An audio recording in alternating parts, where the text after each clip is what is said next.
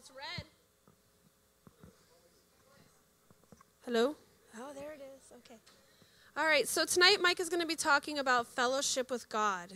So it's going to be a good word tonight. Um, couple announcements. We do have books for sale in the bookstore after the service. Uh, Mike has a specific book that he wrote in there that's about mental illness. So if you have any um, questions or unanswered questions about mental illness, he's written a book about it. It's called Plano Spirits, and I think the other one is There is a Boogeyman. He sells them for about $10, and they are written by Mike. Um, and does anybody have any testimonies? Anyone had any anything amazing happen? God do anything this week in your life? No? Okay, you want to share? Sure. Long time. Hi, my name is Charlie Tadano. Okay, uh, I've got a friend of mine named Dave Andrade. I haven't seen this guy in 25 years. Uh, I met him when I was in eighth grade, and we were good friends through high school and stuff. Now, I was a really bad guy in high school. I grew up in the west side. David was not quite as bad, but I tried to corrupt him as much as I could. Now, we haven't seen each other in 25 years, okay? Um, I've come, I love Jesus, okay? And, you know, so I've been trying to find him for 25 years on Facebook, going on the internet. I mean, all kinds of things like this. Little did I know, God's been working in his life, okay? So he's experienced healings. He, you know, he loves Jesus just like I have. And for some reason, it seems we we've been talking about, it looks like God kind of kept us apart while we were still bad. And Monday, he brought us together. So I haven't seen this guy in 25 years. And all we're doing is just talking about, wow, how the Lord has just changed your life. And so when he told me that he had experienced some spiritual healing, had to bring him down here so he could check this place out.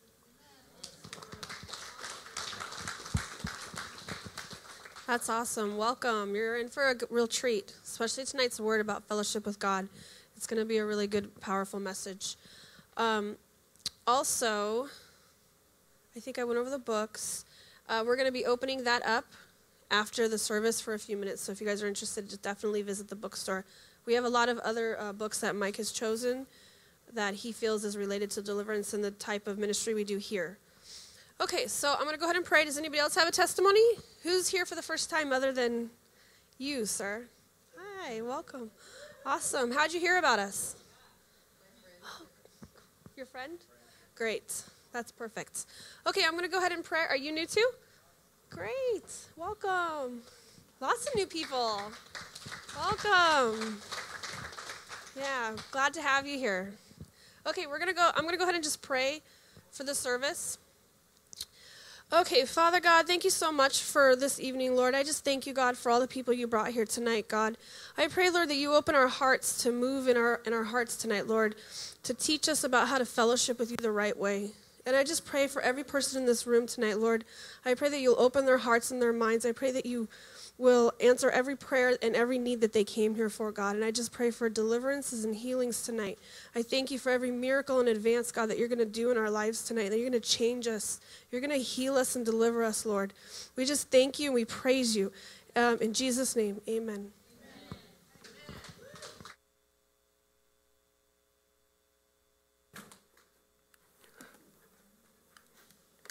Good evening.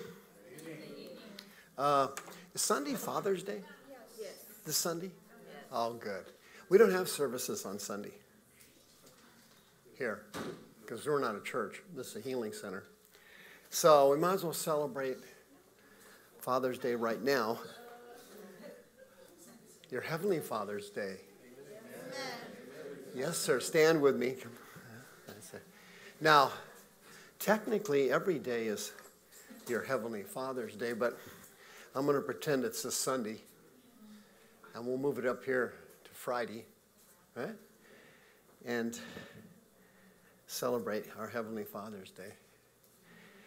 Father, as Jesus said, Holy Father, Lord of heaven and earth, this is Father's Day.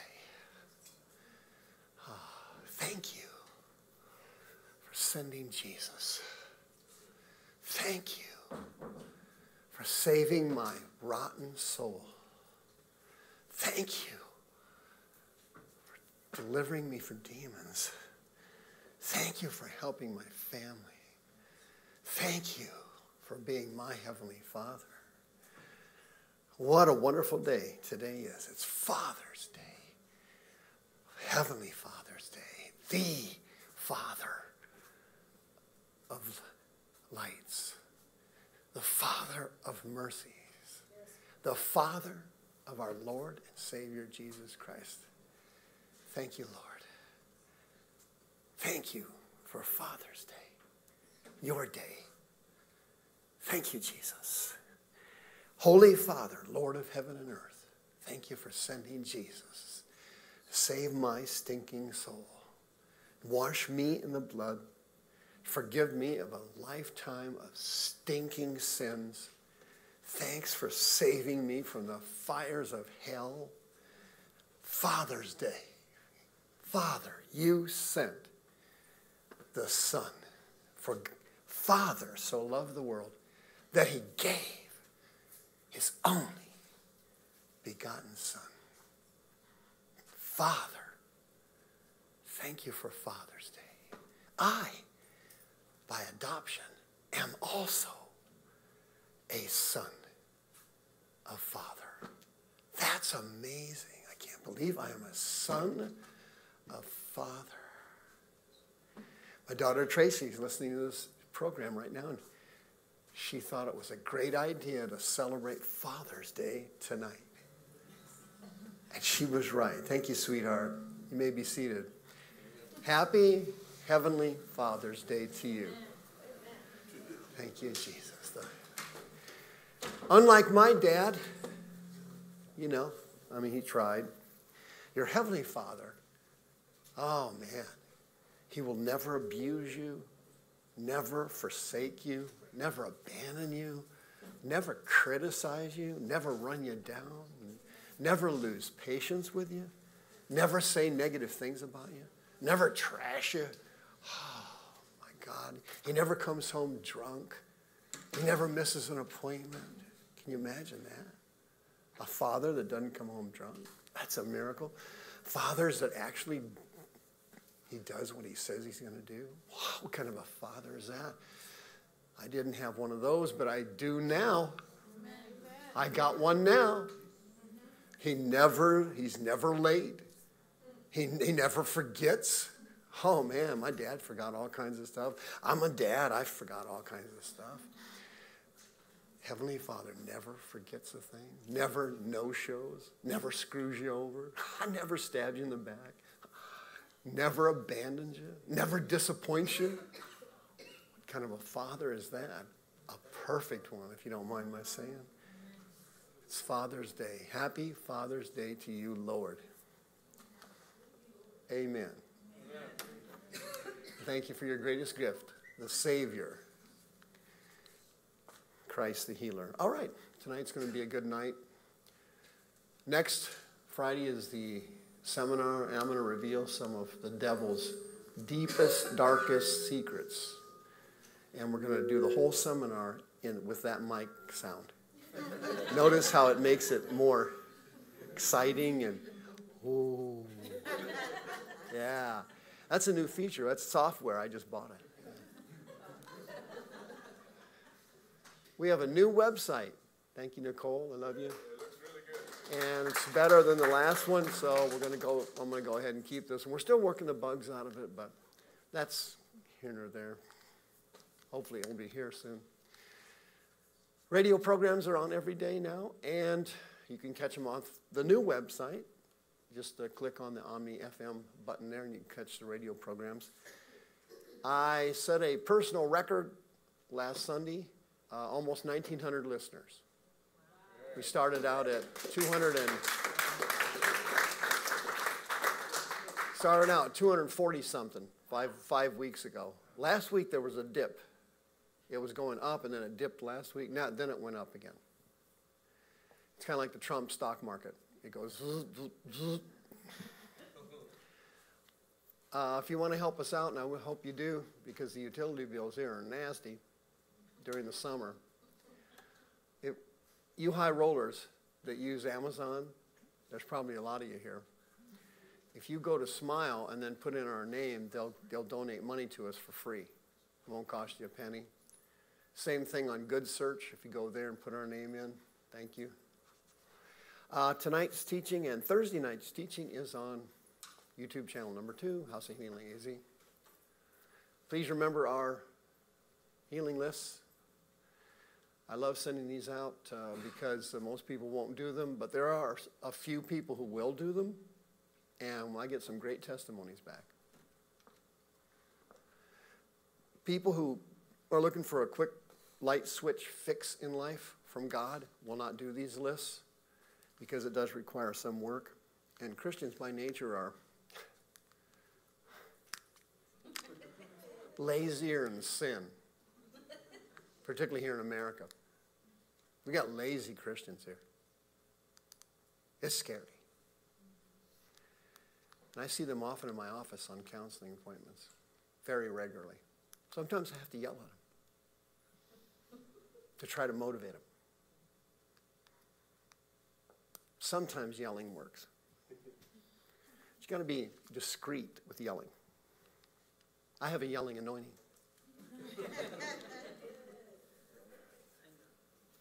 YouTubers, don't forget about your terror cell in your church now. Get that thing going. I'm telling you, it works. I did it when I was at a mega church years ago. It was in uh, 05, I think it was, 04. It works. Thank you for your donations. Thanks for paying the electric bills this month. God love you. You can donate on the website. And I want to talk to you tonight about something interesting. 90 something percent, 80 something percent of the people that come see me for counseling are really looking for a friend because a lot of people are kind of jacked up. And when you're jacked up, traditionally, the people that like to hang around you tend to be reduced. I'm putting that very nicely. Uh, when you've got emotional and mental problems, you got spiritual problems, your personality kind of picks up deficits. And personality deficits feel uncomfortable to others.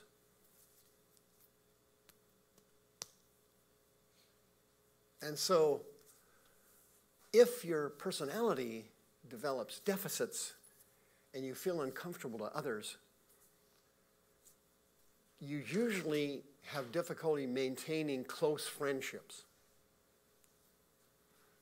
Because, generally speaking, not all the time, most people don't want to be friends with somebody that's all screwed up. They don't feel comfortable with them. So they kind of keep them at a distance. If it's a relative, of course, you can't get rid of them, but you, of, you can keep a relative kind of, you, you try to avoid them as much as you can. At Thanksgiving, they sit down there, you sit down here. But what most people want when they come in for counseling really is the bottom line is they'd love to have a friend and they'd love to have a, an intimate relationship or close relationship with the good Lord. That's really basically what they're looking for. And I don't know how many people have said to me over the years, Mike, on my prayers, I just pray and they hit the ceiling. I, I don't, God doesn't hear me anymore. I don't hear from God anymore. They, they have this sense that there's a block up there. They can feel that. There's a blockage. And Christians don't like have blockage like that. They feel uncomfortable with them. Most people don't want a blockage. They want a they want fellowship and friendship with God. Correct? This is all just common sense, isn't it? Yeah. And the Greek word for that is koinonia. Right? Let's take a quick look at it tonight. This is koinonia. Now, you see this kid here. See that baby laying on, sleeping on that dog? Those two have a relationship. between each other, and they both know each other, and they're friends. They have a relationship, this dog and this baby, like you would like to have with God. You'd like to just climb on top of Him and just rest. Wouldn't you? I think you would. This is koinonia here. You notice that? See the looks on their faces. You can sense the love there. You can, can, you feel that? Can you sense that? That's koinonia, you know. Now, this sweet potato, here's, let me tell you something. If, if, if two sweet potatoes can have koinonia and you have the Holy Ghost, I guarantee you it is an option for you. Because how much greater are you than a sweet potato? Think about it. This is deep.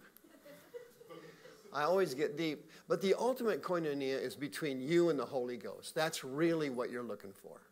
It really is. And most people that come in to see me for counseling, they've got all kinds of issues and all kinds of subjects. But at the bottom end of it, the bottom line is if I can increase their koinonia, most of their problems disappear. And many of them right in my office. Not all of them sometimes, many of them. Just poof, they're gone. Everyone has koinonia. Did you know that? Yep. When you're born again, phew, a supernatural miracle happens. The Holy Spirit comes from heaven and bang, enters into your body. He hops into your spirit, man. At that moment, you have fellowship with God. And it's permanent, never goes away. As soon as that happens, Bingo. Instant koinonia. Well, how come my life's so jacked up? I'll get to that in a minute. But your brain is kind of that way too. You got you want this connection with God, and that's kind of how your brain works. When you're young, your brain works good, right? The neurons move from one cell to the other, and when they go from this one to that one, they jump through a what?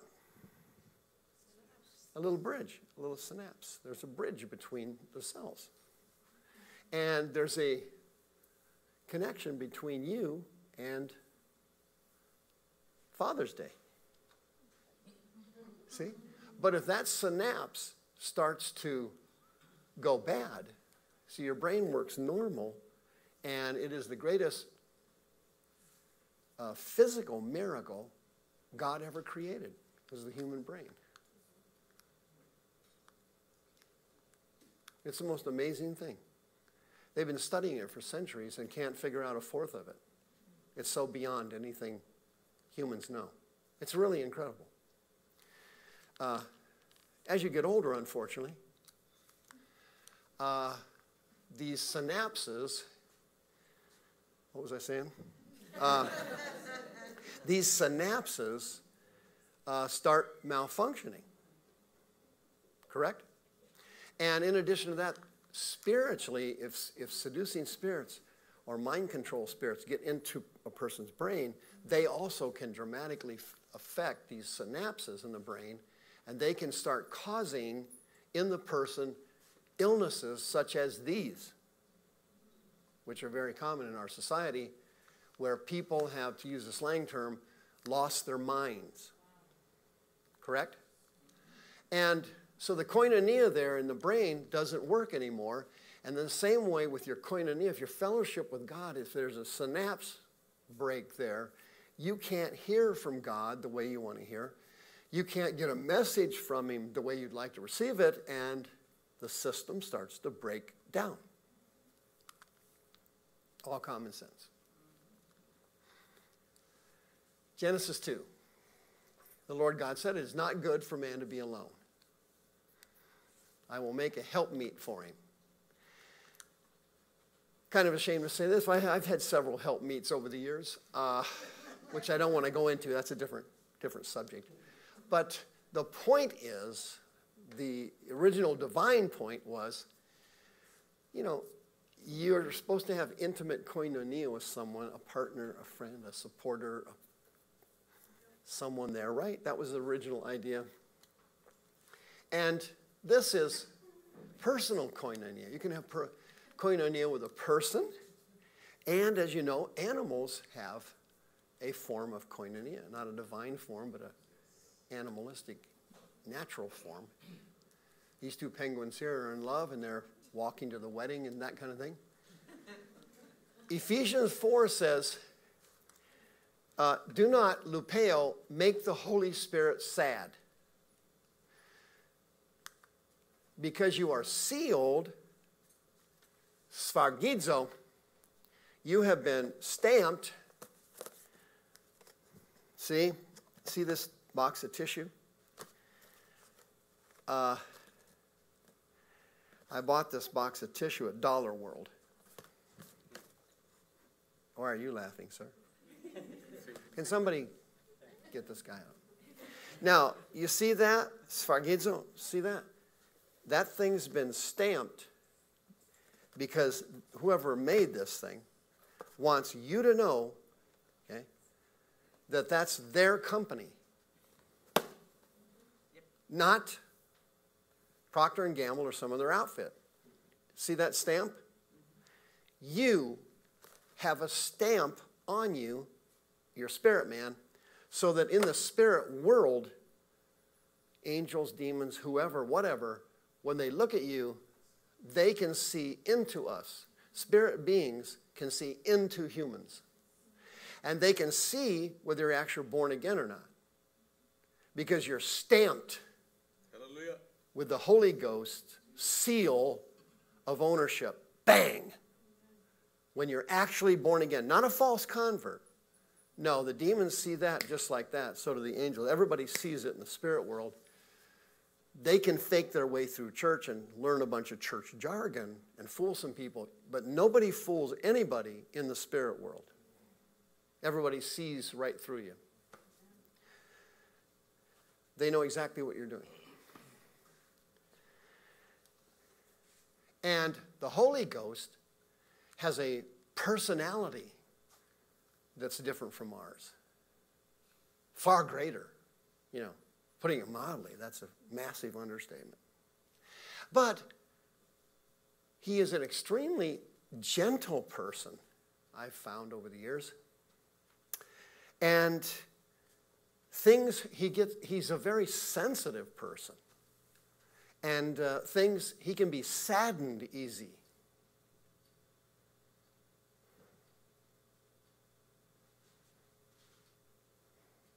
And if the Holy Ghost is saddened, their koinonia, your relationship, their, your synapse, their, that jump starts to malfunction.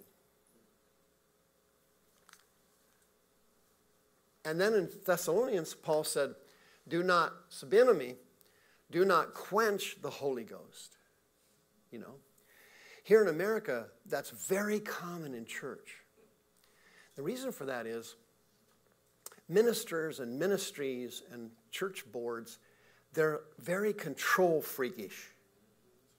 And they have a concept in their mind of what they want to accomplish in their system and how to generate revenue out of that system and how to make it a happy, productive, positive system. And so they have this concept of how church should go. And in, and in setting up that system, it's so controlled and so rigid that Paul was saying, listen, you're going to quench the moving of the Spirit if you're too tight. Okay? You ever met anybody with a tight? You know, they're just all wound up. Okay? The Holy Ghost doesn't like that. He likes to have freedom and he likes the relaxed atmosphere where he can do whatever the heck he wants to do and not have to ask me about it. So when I opened up the House of Healing years ago and then went over here, I saw that system from year, years of being in churches and watching how they do things and analyzing their system. And so when I started that system and this system, I went the opposite of church. I saw what the church was doing, and I did the opposite. Everything was opposite. Literally. Uh, I actually made a checklist years ago. Literally, I wrote, wrote it out. And I would spend time at Burger King studying it. Choir. Then I'd have my list no choir. Singing, no singing. Pass a plate, no pass a plate. Quiet altar calls, no altar calls. And I went down the list, and everything they did at church, I did the opposite. Why? Because I saw that system set up, controlling it. I saw it.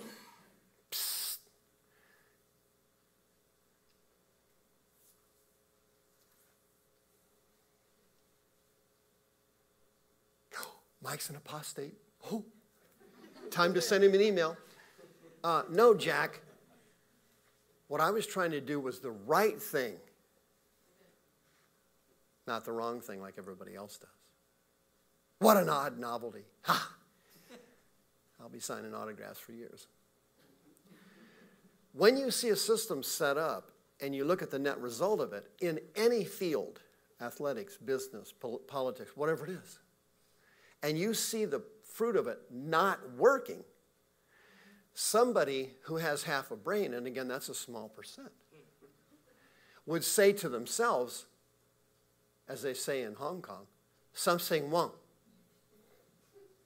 There's something wrong with that system.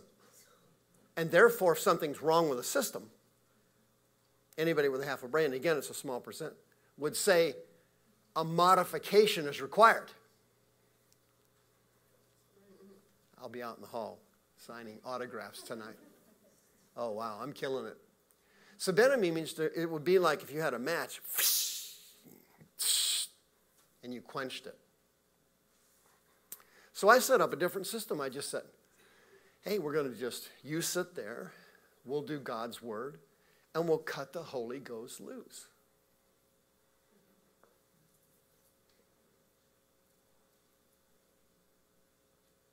Now, obviously, that system's not really catching on too good, but I still believe it's the better system. I still believe it, even though it doesn't look like it is here.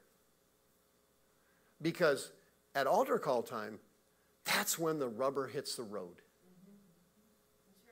And for years, I've had the honor and privilege of seeing the Holy Ghost move in every service. I can't even think of a service he wasn't manifesting somewhere. But I did that by having limited restrictions on him, limited procedures, limited policies, patience.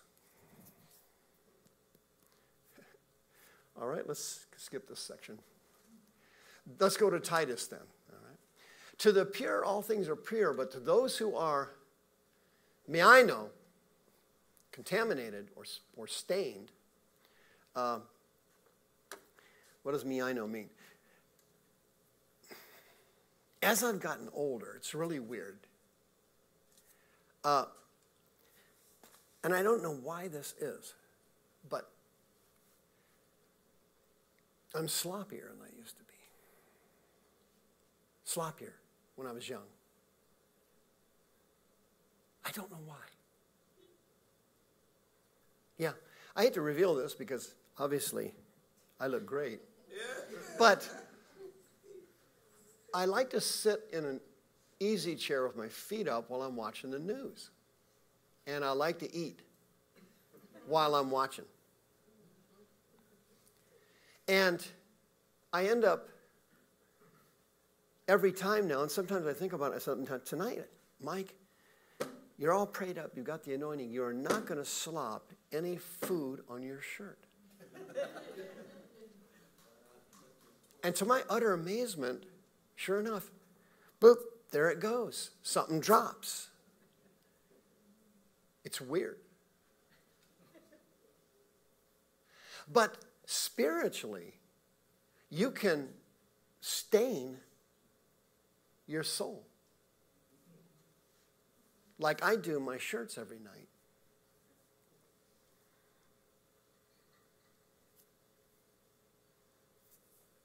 How do you do that? Well, let's find out. When you stain your soul and you are defiled or you're stained and it causes unbelief and doubt to set in, Paul said. And people that are defiled see things through a prism of impurity. And when you let all kinds of ugly things into your mind and you sear your conscience, your koinonia thing, your synapses start to break. And the person starts to wonder, my goodness, I don't, my relationship, my anointing, my sense of God, my feeling, I don't feel Him anymore. Well, Paul said, listen, it's, it comes from getting stained through sin. And it's easy for Christians to do. And church people are very commonly stained and have seared consciences. It's very, very common for somebody who goes to church to have that. happens all the time. But they either don't know it or they know it and they're covering it up and they will talk a good game. Homologia means uh, you got all that God speak down. Hallelujah. God bless you, brother. You get the religious crap. And Paul said these people that have got their God speak down, they, they talk a good God game, but if you follow them around, you're going to go, wait a minute. Back to Hong Kong. Some say, well, and what it is, it's that stain. Those stains, I drop it on my shirt. I take a sip. This really drives me nuts. As I've gotten older, I can't remember that I've got ice in something. I mean, it's weird. I picked the darn glass up. I forgot the ice was in there, right? I go like that, and nothing moves, and then suddenly all the ice comes out and hits me in the face and goes down the front. I'm not making it up. It's like a miracle. I picked the glass up. You'd think it would just come right out, right? No, no big deal. But it, nothing comes out. And then suddenly, the,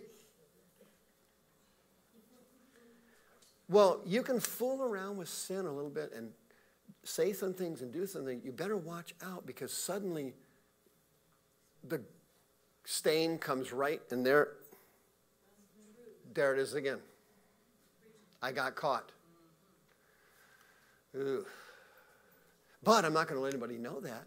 So I'm going to talk up my God speak. How you doing, sister? God bless you. You look anointed. And you vomit this crap on them, and they don't know it's vomit. It sounds like the God speak they use. See, they're as sick as you are.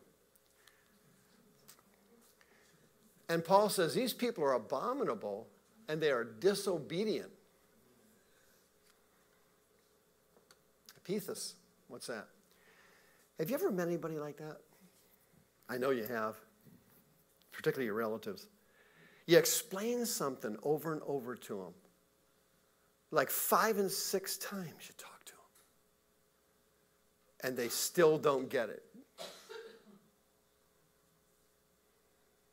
And then your patience starts to wear on you. Uh huh. You ever felt that one? That's the kind of person talk, Paul's talking about. Epithes, right there. People who you talk to over and over again. They don't receive it, they don't listen. But while you're talking to them, oh, yeah, you're right, Mike.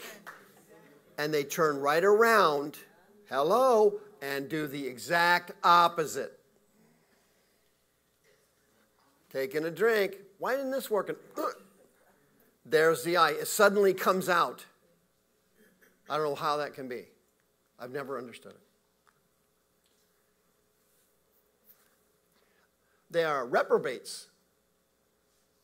Wow, that's amazing. What's a reprobate? Adokimos, it's somebody who thinks so antichrist like that God says, hey, I can't use your mind. I can't even use it. Out. A reprobate.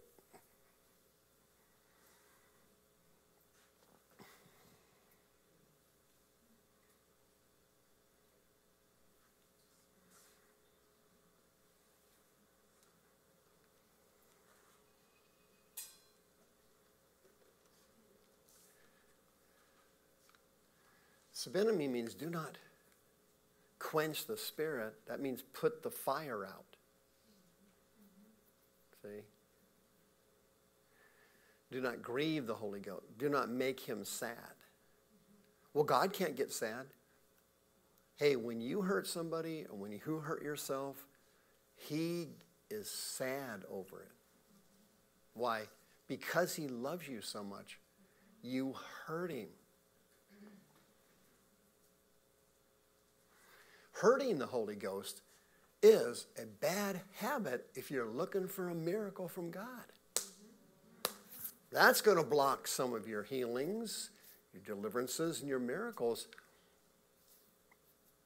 In fact, that's a perfect formula for ruining your life, making him sad. He's the one person in life you really need to make happy. If you had to pick anybody in the world, you'd pick him. I hope. For, uh, Corinthians 13, the grace of our Lord Jesus Christ, Paul said, may the grace of our Lord Jesus Christ and the love of God, agape, unconditional love, charis, undeserved, unmerited favor, agape, unconditional love of God, and the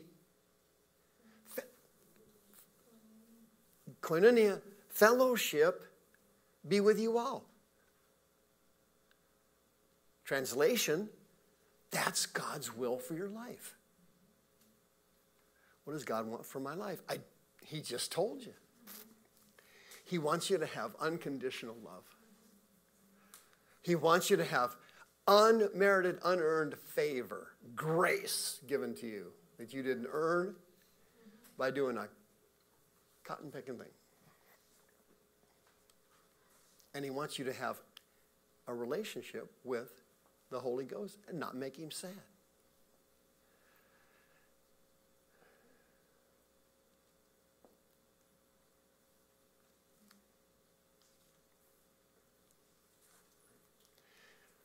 1 Corinthians 1, Paul said, God is faithful by whom you were called to the, there it is again, fellowship of his Son, the Lord Jesus Christ. God has called you to have koinonia. He called you for that.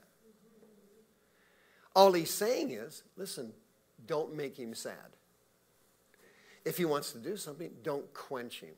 Don't tell him he can't do it. It happens all the time in church. I saw it with my own eyes numerous times. We don't do deliverance here. Ah, uh, no, we don't believe in healing. All kinds of weird quenchings of the spirit all over America. Churches are jacked completely up in this country. Why? Because their main focus is satanic quenching of the moving of the spirit. God's grace and unconditional love. He wants to dump it everywhere, but the churches block it. That's why there's so many people go to the streets to minister. That's why there's so many home groups break opening up now. People are going to home groups. People are going out in the street. Why? This structure, this church structure, quenches the moving of the Spirit. And that makes him sad. If he doesn't get a chance to heal somebody, that bothers him. He doesn't like that.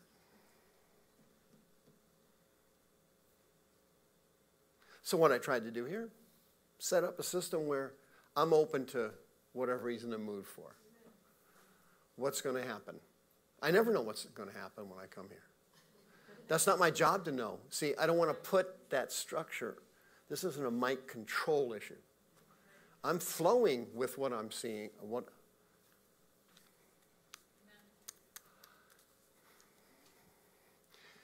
Philippians 2. If there is any consolation in Christ, any comfort of love, or he mentions it again right here fellowship, koinonia of the Holy Ghost, if there be any bowels and mercies, he says, fulfill my joy and be like minded. Phroneo means to focus, like you're taking a test. It's not in the Greek word nama where you're thinking about something. No, it's phroneo. You're collecting your thoughts on something. See? Like a math test. So he's saying, hey, focus on bowels of mercy. Focus on not quenching the spirit. Focus on not making him sad. Focus on unconditional love. Focus on grace, unmerited, undeserved favor from God. Charis. That I can use. Because if I have to earn it, I'm in deep trouble. You know why? I'm a genetic failure.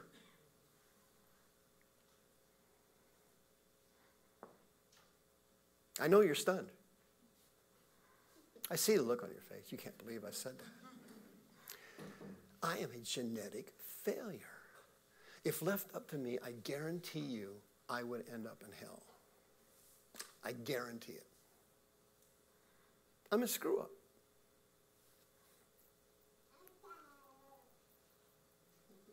I was born a screw up.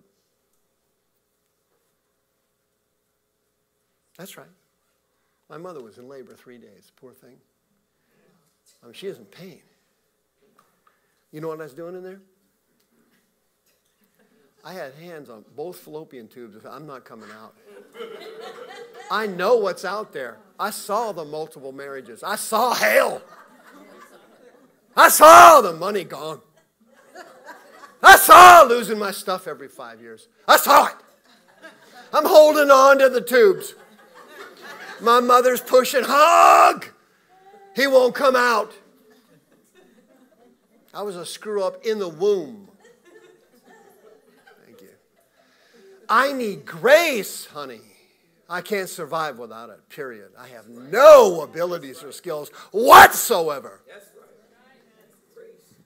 There's what I want to hear unconditional favor. That's right. See, I even scare babies. That's how screwed up I am. I need mercy from God. That's all I can take. I can't work and get better. Every time I work, I get worse. I need unconditional love. Nobody's going to love me conditionally. Don't answer for phone numbers. But they're out there. Come on. It says here, check this out. Fulfill my joy and focus on these things. phroneo, focus. Having the same love, being of one accord and of one mind. Having there means not to have something like I do this. See that tissue? I have it in my hand. No, it means to echo, hold it and possess it. Like it's important to hold. He's saying, hold it and possess it. The same love. And uh, be of one accord. Huh, that's unbelievable. Sumsakos. What does that mean? Unity of your souls. Unity of souls. We don't have that in America. We have racism. Oh boy, whites don't like blacks, blacks don't like whites. That's all satanic. There's no, there is no black and white people in heaven. There's no yellow people. There's no Indian. That's, that's all lies. People, there's no difference with being one person and another one. There's no Asians in heaven.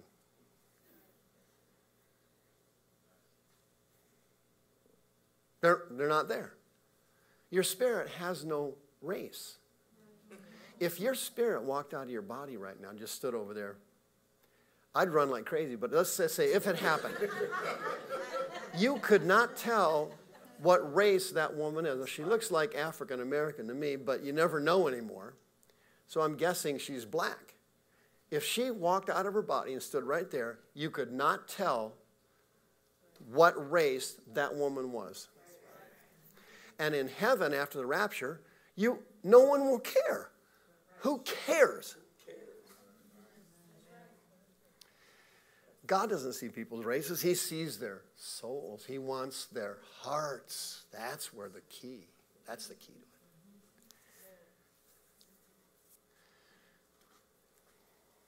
Being of one mind, same Greek word, focus. Focus on it. That requires effort. Uh huh. That's what my mother said to me. In fact, my wife said it to me tonight. Did you hear me? Uh-huh. Right? Phroneo. My wife said that to me driving down here. She was telling me a story about my wife's getting a dog. Okay? And I can't follow this process. It's too much for me. She's got this thing all worked out scientifically. She's been doing research on it. She's in my office right now, right? Yeah, the door shut. She's been researching getting this dog, special dog. Uh, to me, dogs are dogs. But to people that know about dogs, apparently dogs are not dogs. Dogs are, there's different dogs. Oh, she's got this thing all worked out. She's telling me about this dog she's getting. She has to go to Nevada to get it. I said, Aren't there dogs here in Arizona? Why, why do you gotta? I don't understand anything about it. Husband material. Husband material. Dummy. Husband's a dummy. She said, Are, are you listening to me? And I said, Oh, absolutely. I, sometimes you gotta lie. Yeah. Oh, yeah, I heard that. Yeah, dog in Nevada. What was she really saying to me in Greek? Phroneo, are you focused on my dog story? Is what she was saying. And that's what Paul's saying. Focus on not quenching the spirit. Focus on not making him sad. Focus on unconditional love. Focus on grace. Focus on the stains you've been picking up by compromising your faith hanging around people you shouldn't hang around, watching stuff you shouldn't watch, saying things you shouldn't say. You're staining your conscience, Paul said. And to those people who have stains, nothing else is pure.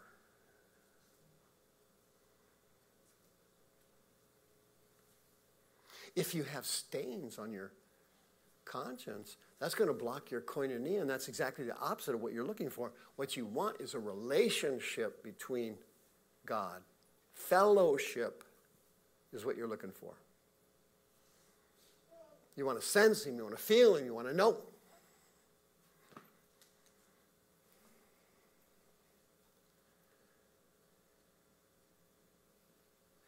When people come out of other religions and they get filled with the Holy Ghost, they're amazed. They're just amazed. They can't believe it. I've said this a dozen times, times a hundred over the years. While I'm interviewing somebody, I ask them about when they first became a Christian, and they tell me, Well, I joined the church here and I got baptized here. And then the next question I ask them is, Have you ever had any personal experience with the Holy Spirit? And then the next thing they say to me is, Well, yeah, uh, I was walking down the street one day and a girder fell off a building and landed right there. God saved me. I said, No, no, no. No, no, no, no anybody could explain that away. I said, Do you have any personal relationship with the Holy Spirit? Personal. Well, what do you mean? Well, now I know this person is not probably even born again. Correct? Because if you don't have the Holy Ghost, you're not born again by definition. Romans 8.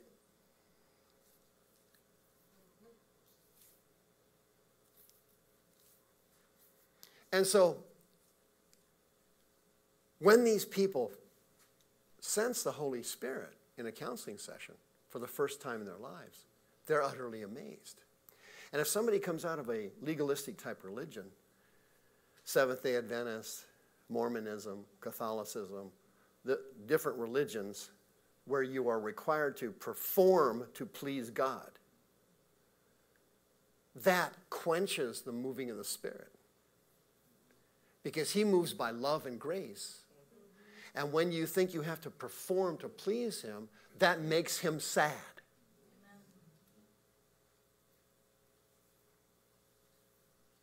Here's the performance he really likes I love you.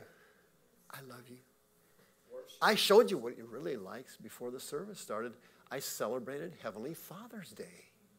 That's what he really likes. That's not performing, that's love loving comes from here. See? If you have to perform all the time to show love, that's more like manipulation. Yeah, I was counseling a couple about their sex life not long ago. I do that often. Any kids here? That's good. And she was complaining to me about their sex life. And uh, I said, Well, I get a lot of complaints about that. Pretty common issue. Well, he's only nice to me when he wants some. Well, that's a door opener for me. That's very revealing. So there's, there's reasons for that. But that, is that love? Well, she's not sensing it, see? She's sensing being used. She's not sensing love. As you would if someone's only nice to you when they want something, like your kids. Hi, mom. Can oh, what do you want? See, once they've repetitively done it over time, you can spot it like that, and then you just cut to the chase. What do you want?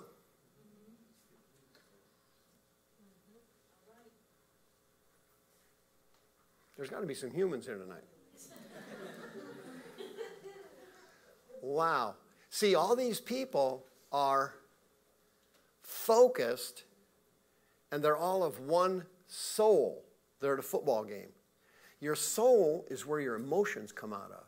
See? And they're cheering for their team and they're all of one soul in that section. That's where the fans of a certain team, they all sit in their sections. If they mix up, mix them up, and they start serving beer, then you're looking at some fights. So they like to keep this team and that team separate, and then they like to serve beer. Lots of it. And beer is better to drink than stuff with ice in it. You put ice in it, nothing comes out, and then suddenly it all comes out. Beer is not like that. It flows normally or without ice. Anything without ice is good to drink. Drives you nuts. These guys are all in one accord, and that's what God looks for. Where two or three are gathered together in my name, there am I in the midst. What's he looking for there? They're all in one soul accord.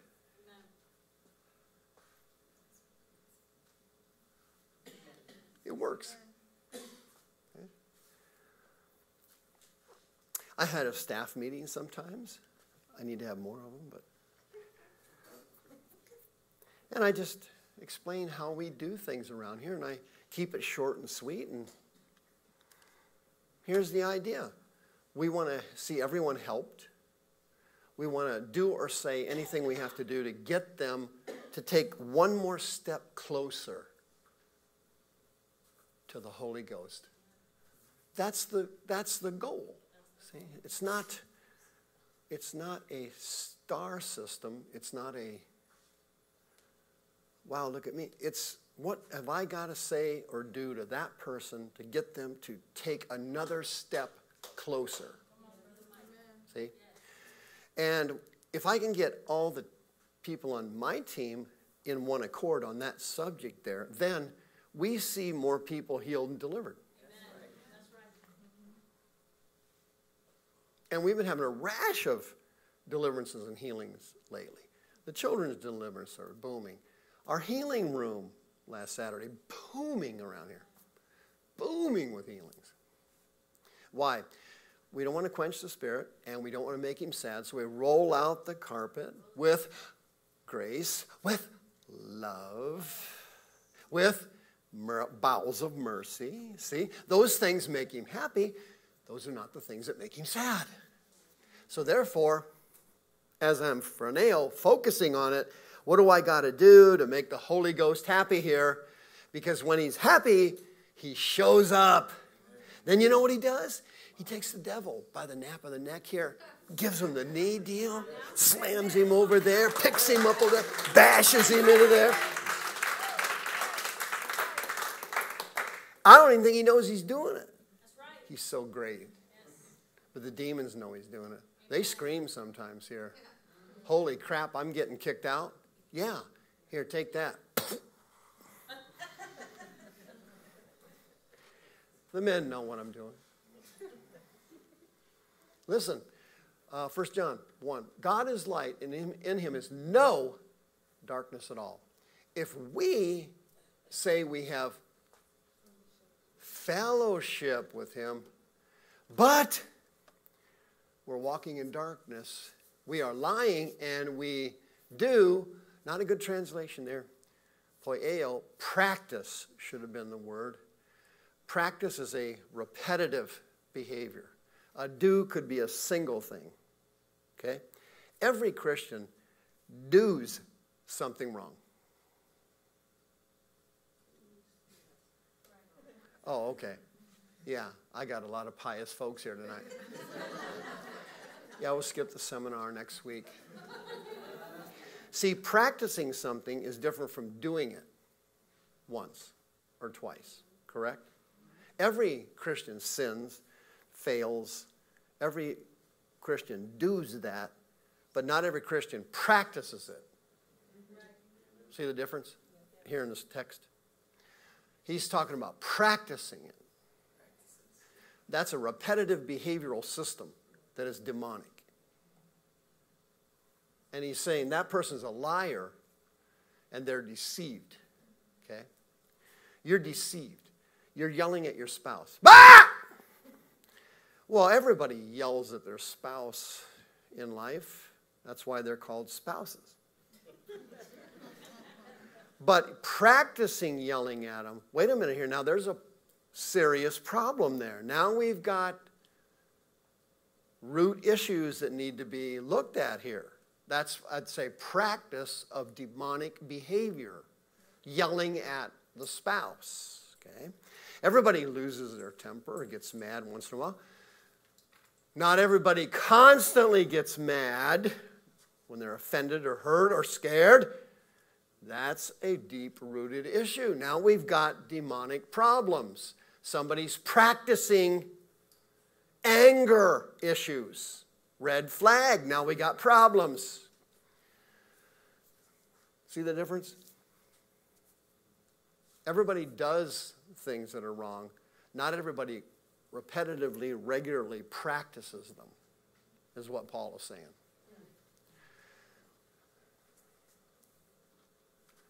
Walking in darkness. Everybody's in darkness once in a great while, right? I mean, nobody knows everything, nobody does everything perfect.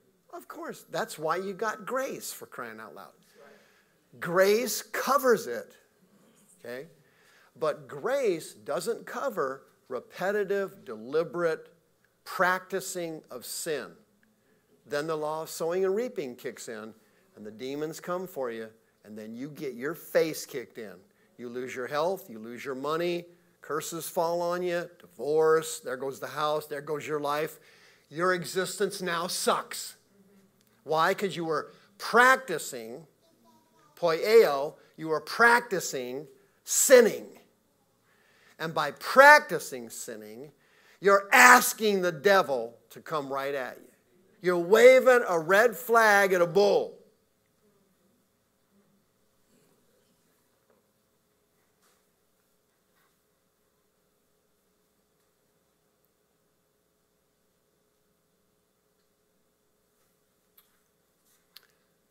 on there. Professing Christians, Paul was talking about earlier, people who talk a good game actually live in darkness, and some of them don't even know it. That's called a delusion. How do you know you're living in a delusion? Easy to spot. You ready? If you've got long term issues,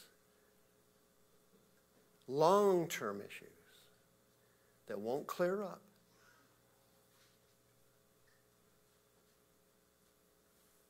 you're living in a delusion. If you sin or fail here and there, no, that's not a delusion. Everybody does that.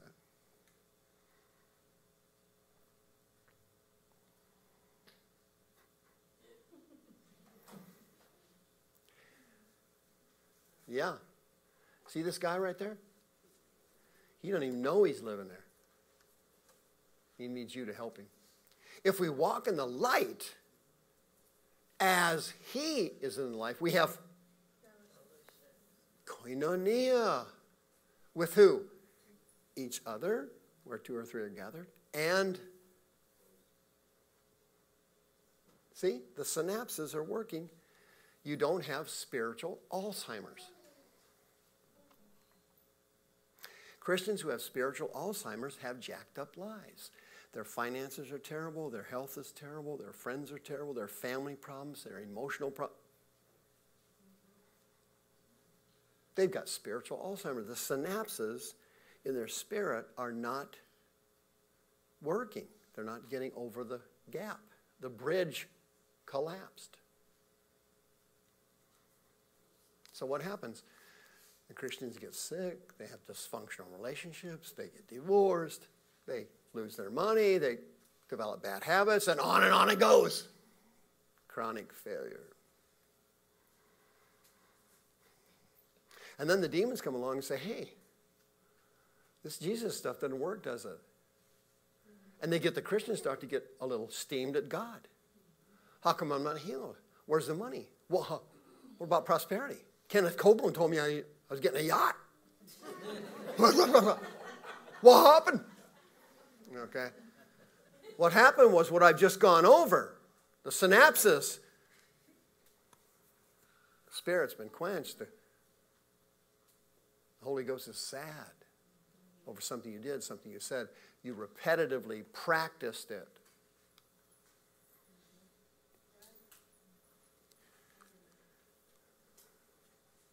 Spirit led Christians go to the light.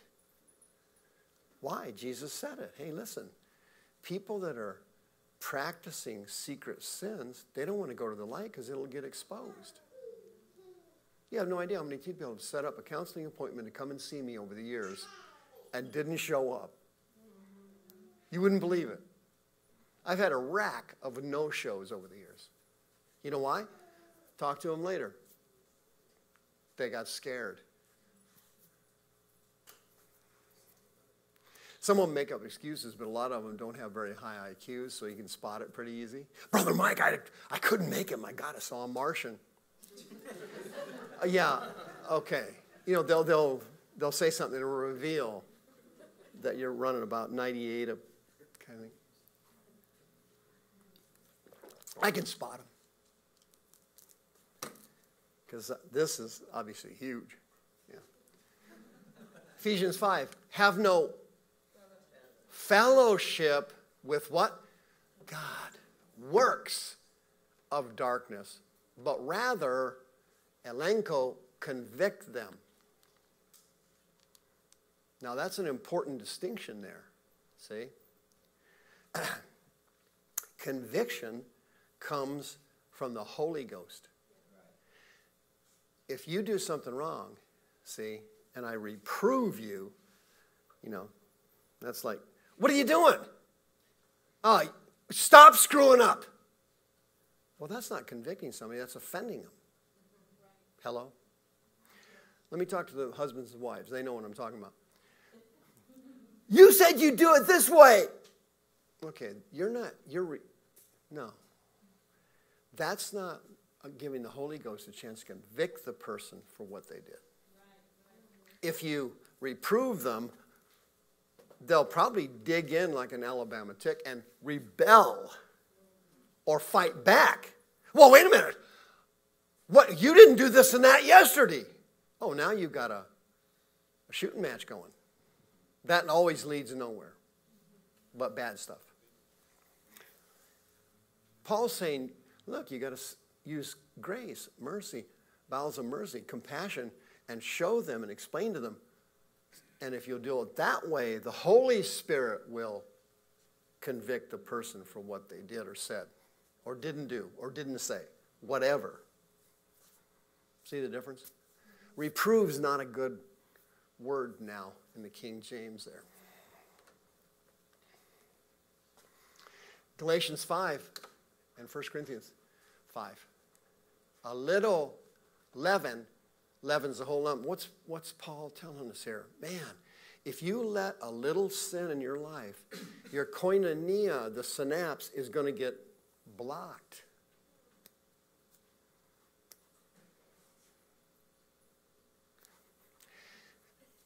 Paul said he wanted the grace of Jesus Christ and the love of God on you, right? Well, you already have that, but that isn't good enough. What? That's heresy. No, you want a relationship with God. You've already got God's love, okay? You should already be dead, half of you here. Okay? You already got God's grace. You have that. That isn't good enough. What Father wants is a relationship, koinonia, the fellowship of the Holy Ghost. He wants all three for you, not two. Because two is not good enough.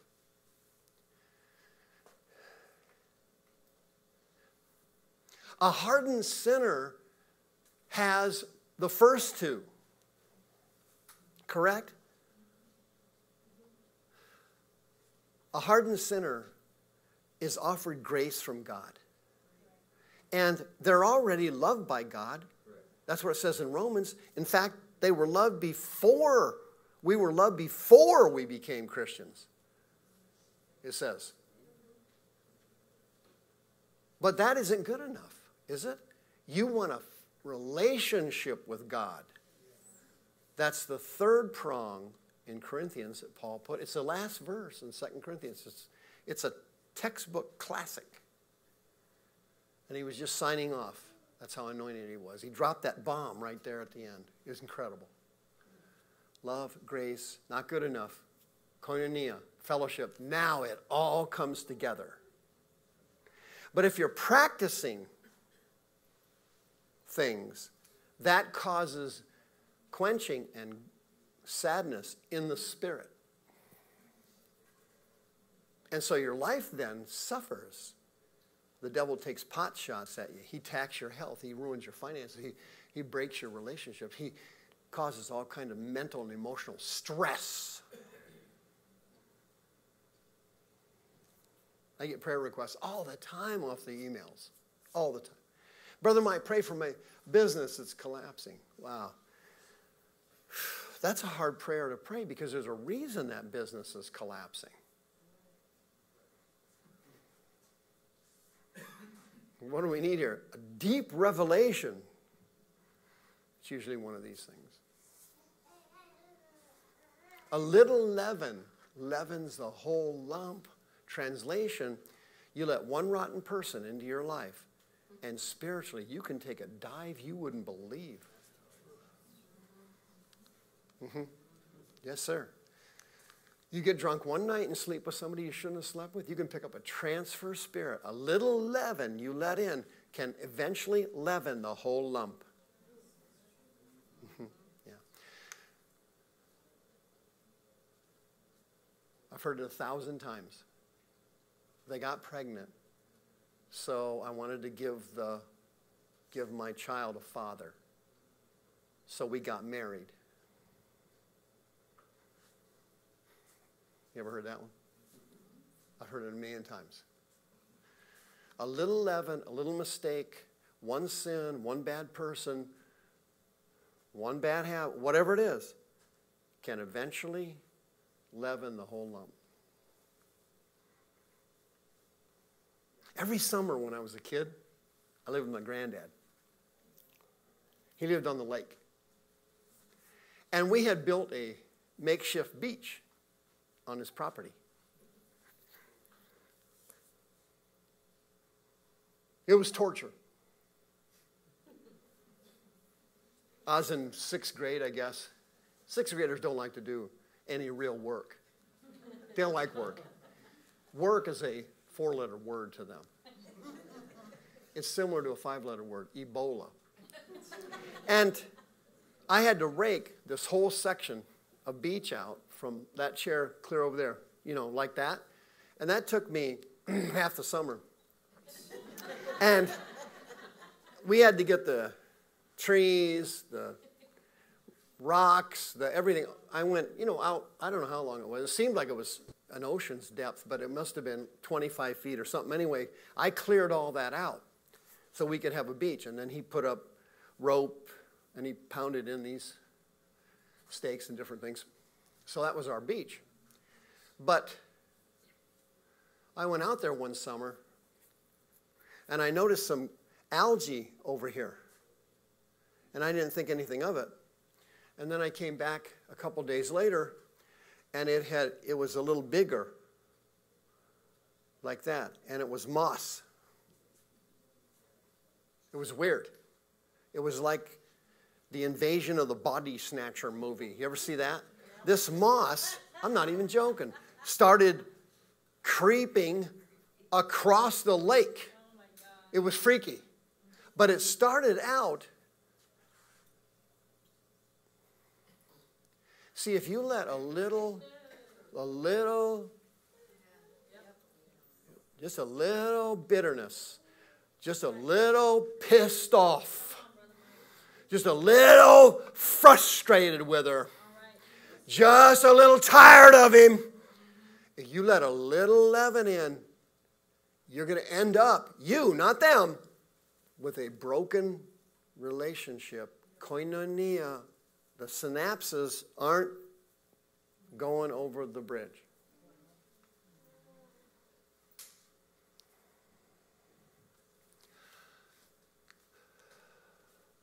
First Corinthians 6. You get involved with somebody who's not on your page spiritually, or in business, or in politics, or in religion, you know what you're going to get? Hellfire.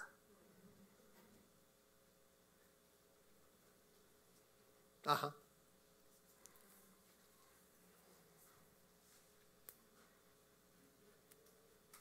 It's tough.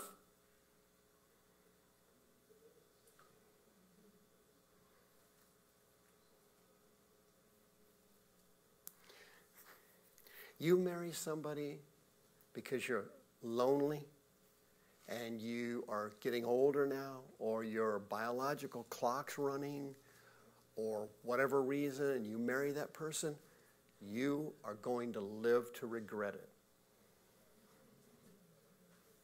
Why? Because you are not to be unequally yoked with unbelievers. There are Christian unbelievers. This religion believes that, but they don't believe that. This religion believes that, but they don't believe that. If you marry this person, if you have a business partnership with that person, and their philosophy, their attitude about money, whatever it is, is different than yours,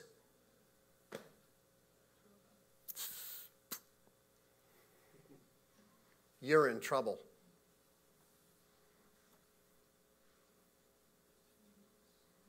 And the Bible says, don't do it.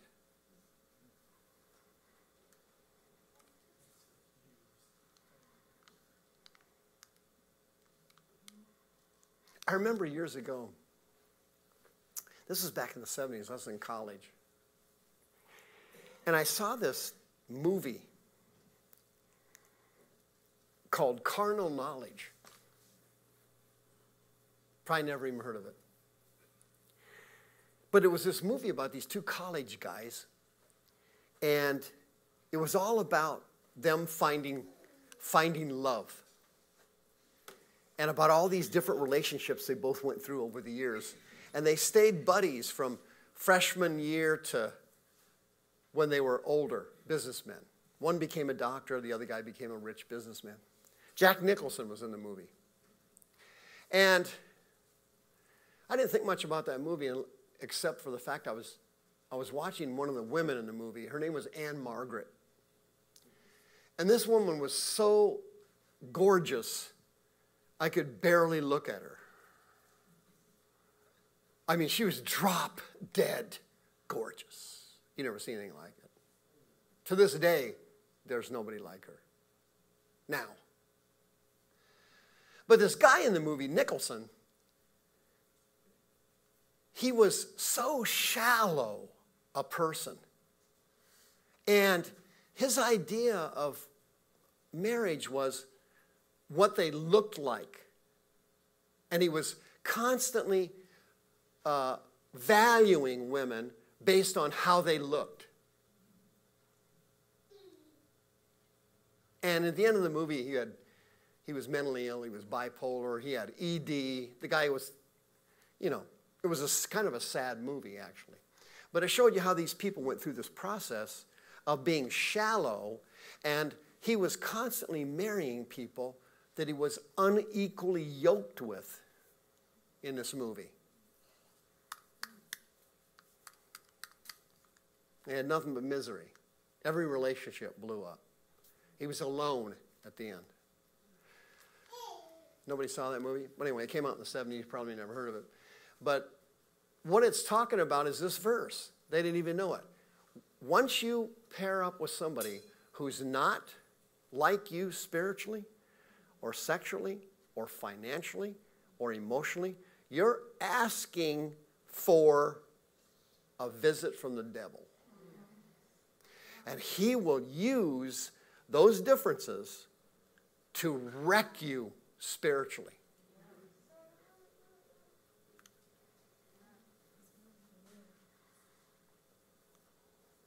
What? Uh oh. Instead of fellowship, notice King James translated as what word? Communion. Same Greek word. What you're looking for is the communion, the fellowship of the Holy Ghost. Because, Paul said, light and darkness have no fellowship. See? That light bulb right there, if you go right up and stick your face right in it, there's no darkness in there. I just looked at that light, now I can't see anything, but I'm assuming you're still there because I hear you. But anyway, what it is is this. If you let a little leaven of darkness into your mind, into your soul, that thing like moss on my lake, Lake Thorndale in Kansas, it starts growing. And that stuff grew out so far Grandpa told me it needed to be cleaned up. Yeah. I said, Well, who in God's name is going to come out here and clean it up? And it was, a, it was like supernatural. I was only in sixth grade. My granddad was like this mythical creature. A rake appeared in his hands. I couldn't believe it. And supernaturally, he was right, right in my face the Holy Ghost is going to tell you listen, I'm going to have to give you a rake. I'm not going to rake it out for you. I'll help you rake it out. But you're going to get the rake like Brother Mike did when he was a kid from Grandpa. As soon as you let in somebody you shouldn't be with, somebody you shouldn't be working with, somebody you just shouldn't open a business with, oh my God, business partners, that businesses fall apart all the time. I mean, it happens all the time. It's just like another thing. Why? People are not on the same page. They don't have the same philosophy with finances. Yeah, I had a friend of mine years ago when I was working as a secular counselor. One of my clients was a law, small law firm. There was two lawyers in it. And they did a lot of work, and I got a lot of business from them tens of thousands of dollars. But one of the lawyers was loose with the money, and the other guy was tight. He was conservative. And the, the other lawyer that was loose was always coming in every year, two, three times a year, saying, hey, we need to increase our draw for our salary. Because he's always blowing money at, with his family at home, whatever. He loved to buy everything. He liked to buy stuff on the internet. He liked to buy stuff mail order. But the other lawyer didn't like that. He was, you know, well, wait a minute. Well, eventually, guess what happened? Yes, sir. They split. They both went solo. This guy who was conservative did much better than the money blower. I ended up with the money blower as my client. Uh huh. What happened to my bills? They eventually got paid, but it was slow. What am I trying to talk about? What am I saying here? Listen, don't get involved with somebody who can do you absolutely no good. Watch yourself, or you will rue the day. How will I rue it, Brother Mike? Laying in bed, flat on your back, staring at the ceiling. Remember that?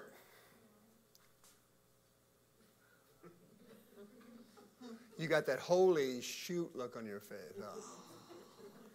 And you look over at the clock, and now it's one o'clock in the morning. Nobody's listening to me. You should be listening to me. Don't do it.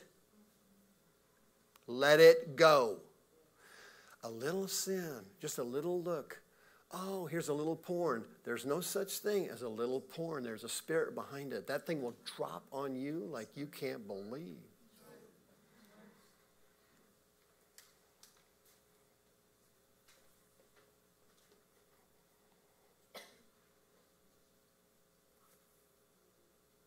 Don't get mad at me, I'm just reading it. what concord? Symphonesis, what's that mean? That's where we get our English word. Yes, symphony. I would have made a good conductor. I got that nice movement. See that? That's, that took years to develop. You don't just get that. Well, what's Paul saying here? Belial and Christ are polar opposites. And he's telling you if you want that fellowship, that koinonia with the Holy Ghost, you're going to be a polar opposite.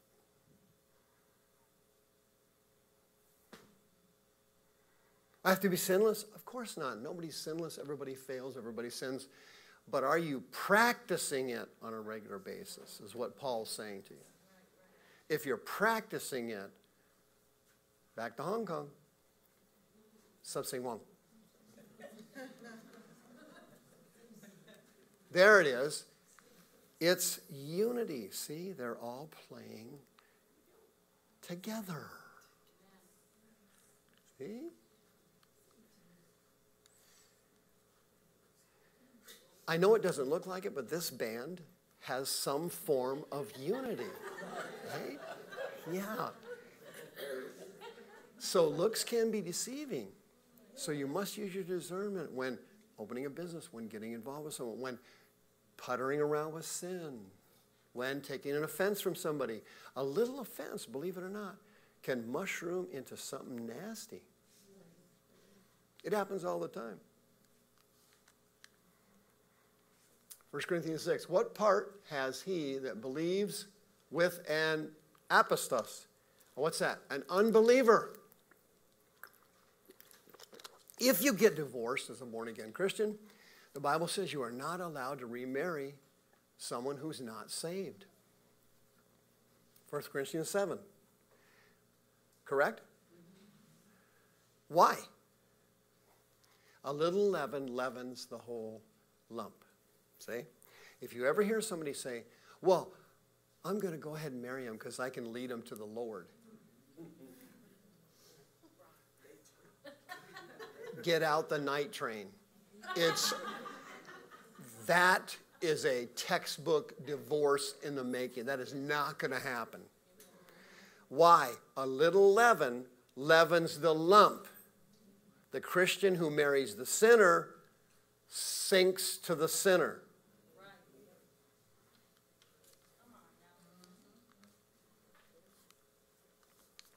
What agreement? Synkatathesis. What does that mean? We agree. Let's do it this way. How should we proceed? Well, I think we ought to do this and that, not do that. You know, that sounds good. Deal. What mental agreement does what? The temple of God have with idols. You wouldn't believe how many people have come to me over the years who came back from the Holy Land. I don't want to offend anybody, but the Holy Land is actually demon land. That is not the Holy Land over there. There's more demons over there than you can count. They've got everything over there Orthodox, Catholic, Muslims, Jews, Christians. It's a melting pot of insanity over there. Oh, but it's the Holy Land. Abraham was there, and John baptized everybody in the Jordan. yeah, yeah, that's true. That happened then. See, but the temple of God is not on the Temple Mount anymore. You are the temple of the living God. It's not over in Jerusalem. That's a false doctrine. They come back see me in counseling sessions picking up demons on trips to Jerusalem. In fact, it's so common in secular counseling, they call it the Jerusalem syndrome. And they're not even saved. It's a mental illness people pick up from religious ideation when they go over to the Middle East. Look it up. It's called the Jerusalem syndrome. It's, that has nothing to do with Christianity. That's a secular illness. I'm not even making that up. A little leaven leavens the whole lump. So you get these carnal, lukewarm Christians running around Jerusalem. Hallelujah, this is great. Jesus walked over here, he walked over there, and he walked into this Arab gift shop. And there they go. And they think, oh, I'm fine. I'm washed in the blood. I'm covered. I'm covered. I can go wherever I want. Oh, they walk into a mosque. Oh, let's look around. You're not covered. Trust me. Hello? You're going to pick up a transfer. Fool.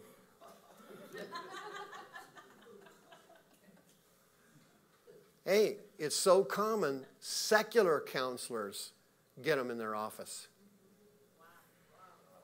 Nightmares, bad dreams, weird sicknesses. Everybody in their demonized dog has been in those hotels over there before you got there. Oh, I'm going over to the Benny Hinn group. we're, staring, we're staring at this hotel. You know who's been in that hotel before Benny Hinn's group got there? You know you don't. You have no idea who's been in them hotel. You have no idea what they've been doing in there. By the way, that area of the world draws religious kooks. Uh huh. It draws them there.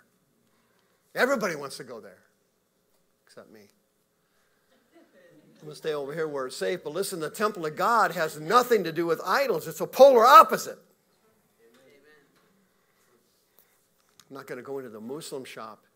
How much are these Mohammed statues? Are they. I'm not interested in a mosque statue. Okay. I... Stupid. Stay out of the. Oh boy, a little lemon. Come out from among them. Okay, I worded it differently. I apologize. I said, stay out of it. Yahweh said, be separate. Hey, what's he saying there? Everybody fails and everybody sins. Grace covers that. Practicing something is not covered by grace and opens the door to a satanic attack.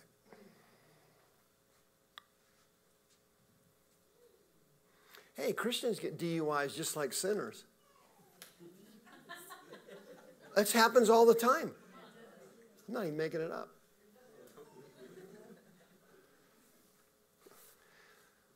Be separate. Aphorizo. What's that mean? Hey, I can go to here, but I can't go there. I can't go there.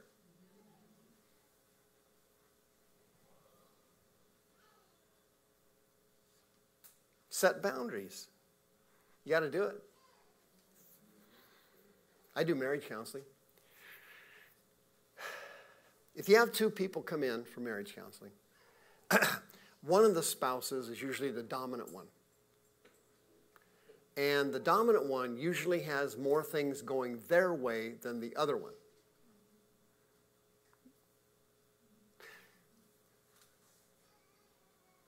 So, if you have a relationship where this one's dominating that one, that marriage is going to end up in divorce.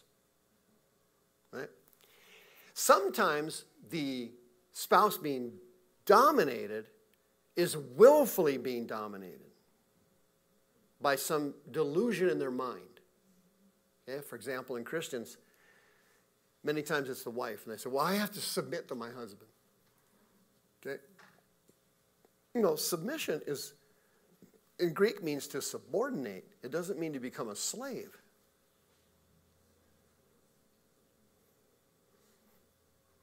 I didn't hear one amen on that. There's some sad wives here. Hey, listen, you got to sit down with your husband and say, honey, look, I'm, I'm, you're the boss and I understand that, but I'm going to set some boundaries here. Okay, I'm not going to do everything you tell me every time you tell me to do it. That's not a marriage, that's slavery. Hello? It's time. I'm going to get in the emails now.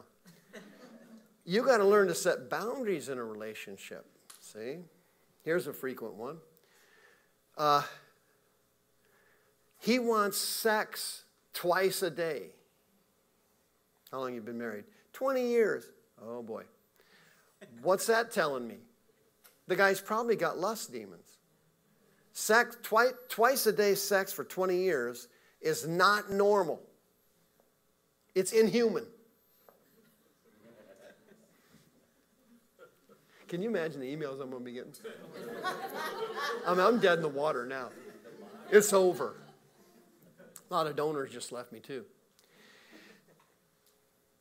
So now that's telling me something. When I get that information, now I've got a series of issues I just learned. And his attitude is I'm the dominant, you're to submit to your husband. No, that's, that's almost like whoredom. Nobody can keep that pace up. See, you got to negotiate a deal. And sometimes it's great to go to counseling. That's what the purpose of it is. The counselor kind of sits in the middle if they're any good. They hear both sides objectively without taking sides, and you negotiate a deal. Now, wait a minute. You want sex twice a day? She's worn out, exhausted. She works, she comes home and clean. And you go through the routine and you show how it works, and, when you, and people are looking at you and going, Well, I didn't look at it that way.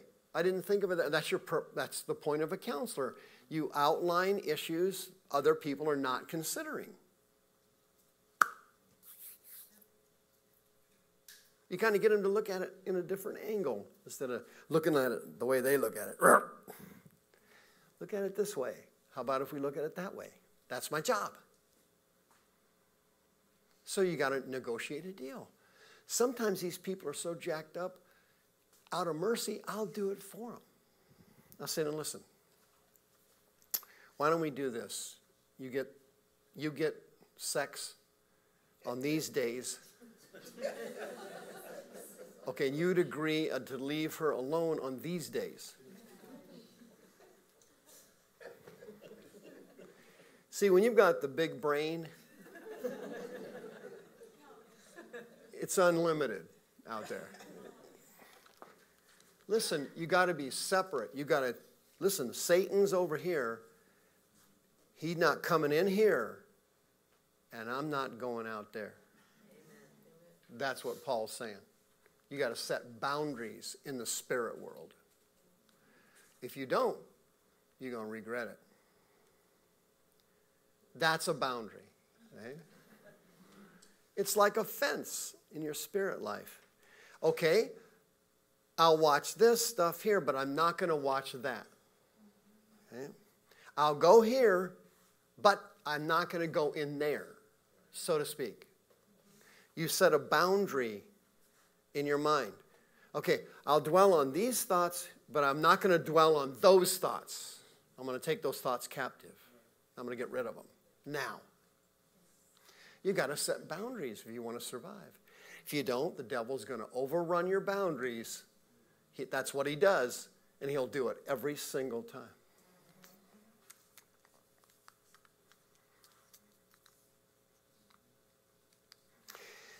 I went to a,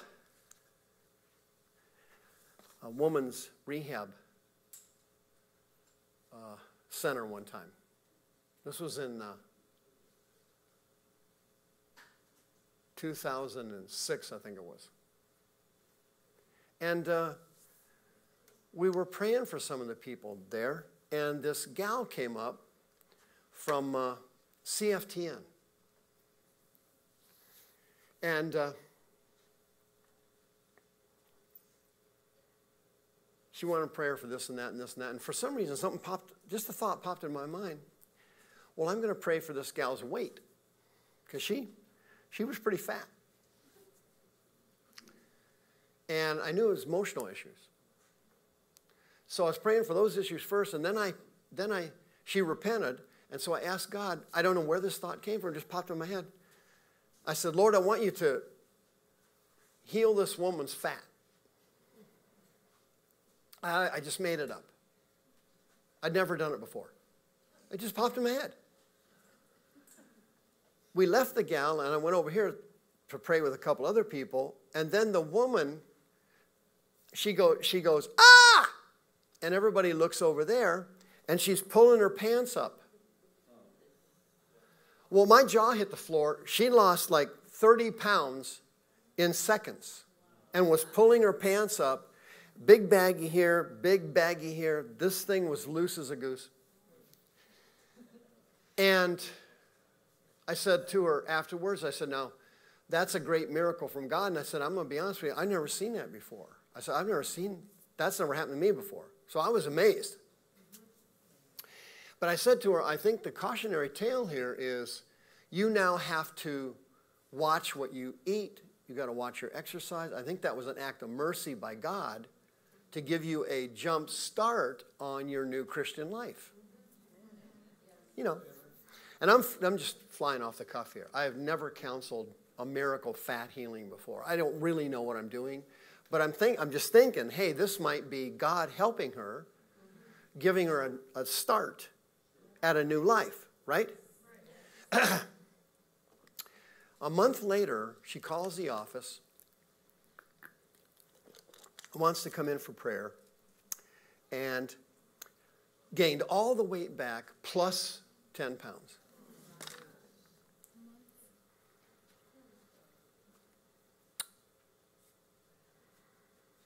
A little leaven or pizza, whatever it is.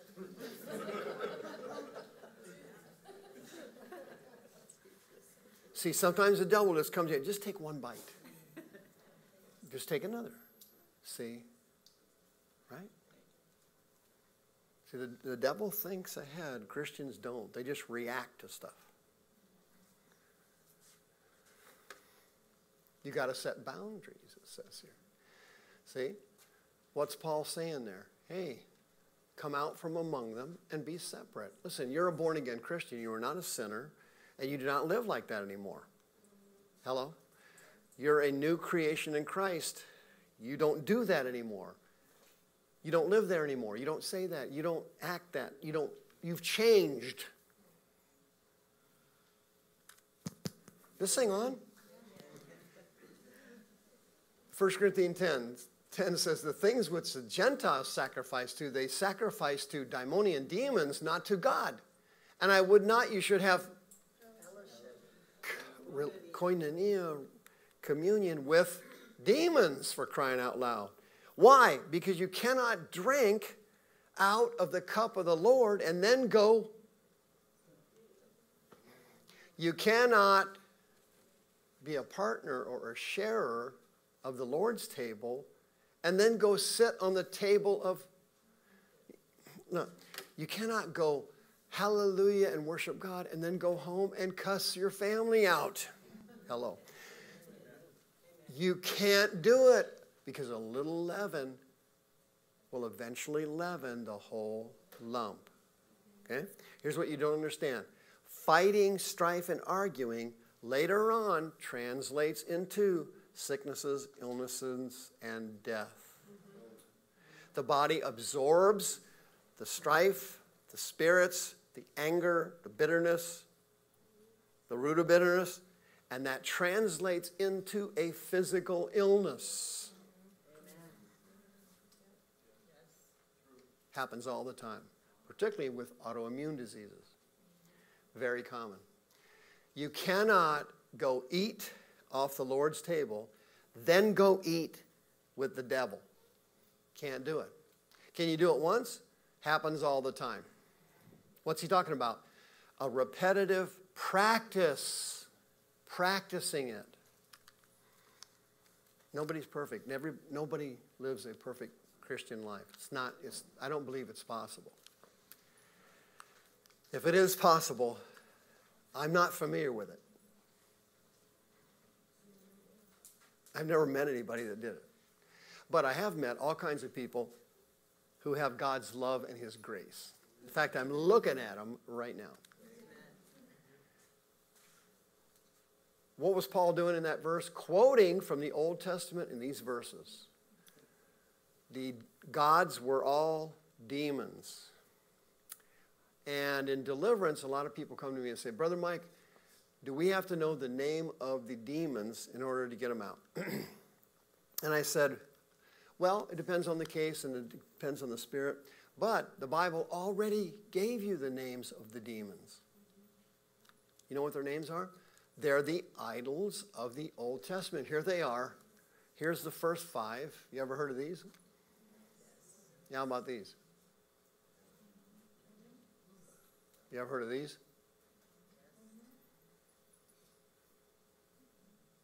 How about these?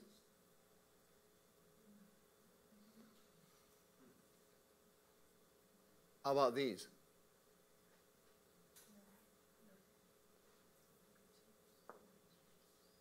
These?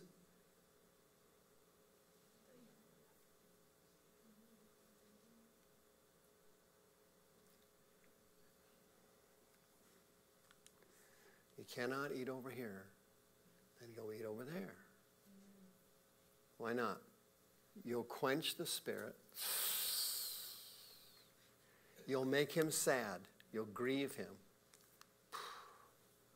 That's the last person you want to make sad. Then you will open the door to the law of sowing and reaping, and something bad can happen to you. Then the Holy Spirit's going to be so sad, even more, because he loves you so much, and now you're being hurt. And it's self inflicted, which makes him even sadder because it should have never happened. Because a little leaven leavened the whole lump.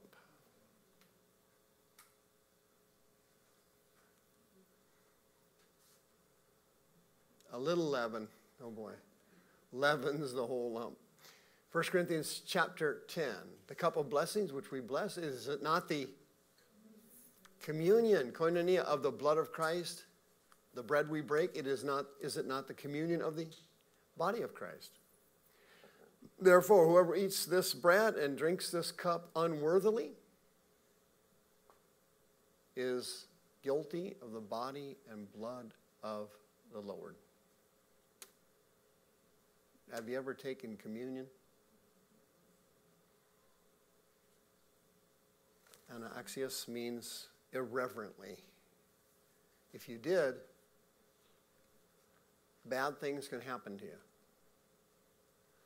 Here's what you're supposed to do if you're going to ever take communion again. You better examine yourself Dokimazo means to test yourself. Give yourself a spiritual test. Okay?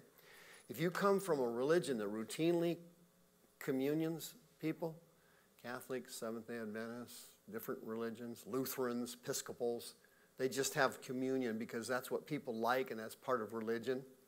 That's very dangerous.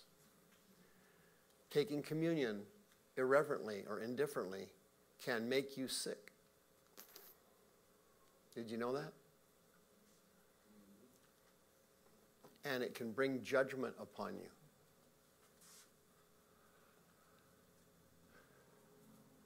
What are one of the things you're going to do tonight? Repent of that if you did it in the past. God will forgive you. There's no sin that you did you can't confess and be forgiven of if you repent of it. You did not discern the Lord's body. For this cause, many people are weak and sickly. Arrostos is feeble or infirm, and many of you have already died. People were disrespecting communion and they were picking up diseases and dying because of it. Okay?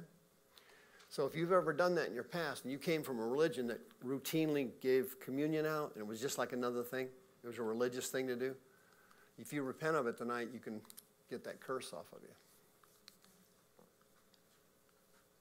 We'll pray with you. He says, if you judge yourself or discern yourself, diakrino means to discriminate, discern. You will not be judged.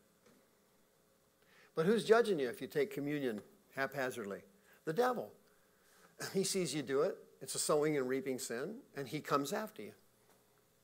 He makes you sick, gives you sickness. You can get ill doing that.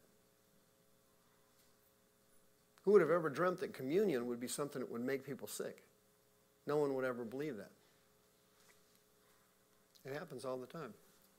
Like this communion time, wafers, okay, I'm done. No, don't do that. Do not, do not do that. All right, let's get ready to close, shall we? Simon the sorcerer was a new convert to Christ, remember? He in Acts chapter 8 was born again. The Bible says he got saved. He was watching Philip, the evangelist, and he was absolutely amazed. Then it says he got baptized like a normal born again Christian would back then. And then he was following Philip around, which again is a normal behavior of a new convert. And number four, he had a desire for the Holy Spirit. Those are all good things, right? Okay. Well, he used his mind and his greed. He wanted to buy it, remember? He wanted to be a modern day TV preacher. And Peter said these kind, gentle words to the poor guy. You are not part of this because your heart is not right. He had greed. If you have a little leaven, it can leaven the whole lump. Repent of your wickedness and deomai, earnestly petition God. See? Casual praying doesn't work with the Holy Ghost. a dinner prayer is not going to come through for you tonight. You ever had a dinner prayer? Lord, bless this meal at Denny's. Pray your blessing on the cook that made it. Pray will nourish it to our bodies. Also, pray this gas clears up. And God, bless our fellowship together as we eat our Denny's meal. Amen. Okay, that prayer I just prayed, that'll work at Denny's. It's not going to work down here. Denny's prayers aren't going to work at the altar. Okay? The Lutherans and Episcopals and some of the Pentecostals, they say, well, just come down here and hold hands. Let's pray together. No, that's a Denny's prayer. Denny's prayers don't work. Not for tough stuff. They work at Denny's. Somebody was praying over Denny's, so they renovated that whole system several years ago. Remember? Did you ever eat at Denny's in the 70s and 80s? Huh? You ever go in there at 1, 2 o'clock in the morning, half drunk? You're looking around, you're going, I don't believe this is like a Men in Black sequel.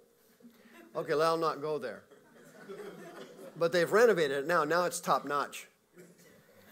See how you get out of that stuff, sir? You following this?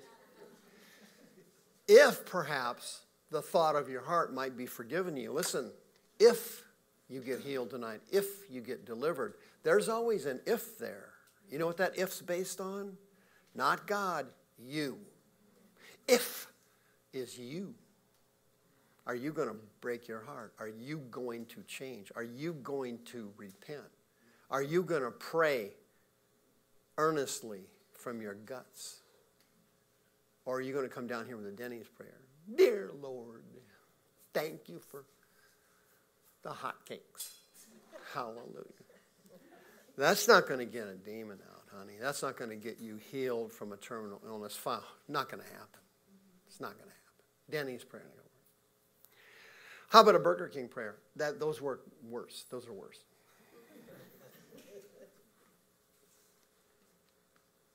the if depends on you.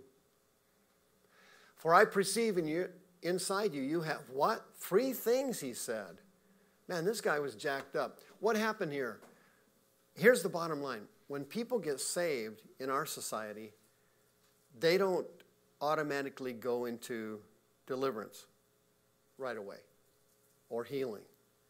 They just get saved and they get put in the church system, Sunday school, attend the services, and so on. Well, they, they carry over their spirits from their sinful life into their Christian life. So now they're, they were jacked up sinners, now they're jacked up Christians. That's the routine. See? So this poor guy here, in his defense, he had never gone through deliverance. So he still had all these other issues from his sinful life. Okay? So was there hope for him? 100%, absolutely. 100%. But he had three things that he had carried over from his sinful life into his Christian life. Look at these three things. You'll be stunned to know that it's common for Christians to have them. Gall is green bile, bitterness is pikria, poison, and he was bound with iniquity. I have no idea how Paul just described my counseling practice. This is 2,000 years ago. How did he know me then? I don't know. I know Christians. That's my job. And this is common for Christians. And Paul and, and uh, Peter hit this thing right on the head. But here's the great part uh, he begged for prayer and wanted to change. Remember that story? He said, Pray for me that none of these things happen to me. He wanted, he saw it and he, he wanted to change. I, I personally believe the guy got, got saved and uh, got uh, delivered and healed. Probably was holding crusades. That's in my mind. I made that up. That's what I think happened. Now, big question is do you need to improve your koinonia?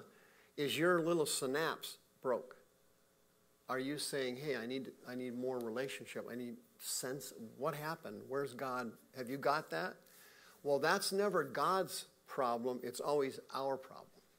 And once you fix it on this end, that flows fast. Bang, it comes quick. That's the joy of being in this ministry. When you get to see somebody busted up or sick, repent, and boof, the Holy Ghost jumps on them. Amen. It's amazing how quick he gets at them. Phenomenal. Why? Unconditional love, grace, undeserved, merited, unmerited favor, and koinonia, fellowship, relationship with God. That's what you're looking for. You've got two of them. The third one needs to improve. How does it improve? This way. Lights. Here's how it improves you come to God with a repentant, broken heart. You come to God with an open heart. You come to God confessing. You come to God facing it. Yeah, you just come to God, telling Him you're sorry, telling Him you want to change now. You come to God, Lord Jesus, I'm tired of being a recycler. There's a couple people here tonight who are recyclers. They come here, they get delivered, they go back home, they go back to work, they go back to school, whatever it is. Frustrations, anger, disappointments, people attacking them. And they don't respond properly, and the spirits get back in. Because they've never renewed their mind and they've never changed. Okay? You have to renew your mind because deliverance is not a cure all and healing is not a cure all. It's not designed to be. You could get delivered of a legion of demons tonight and get reinfected later in the week. And if you don't believe me, come sit in my office during the day and watch the people that come in who've been reinfected because they didn't repent of their sin. They were practicing things at home and at work they knew they shouldn't be doing. And in the spirit world, you cannot get away with anything. There, it isn't possible. You have God's grace on your life. You're here tonight. You have His unconditional love. You're here tonight. But,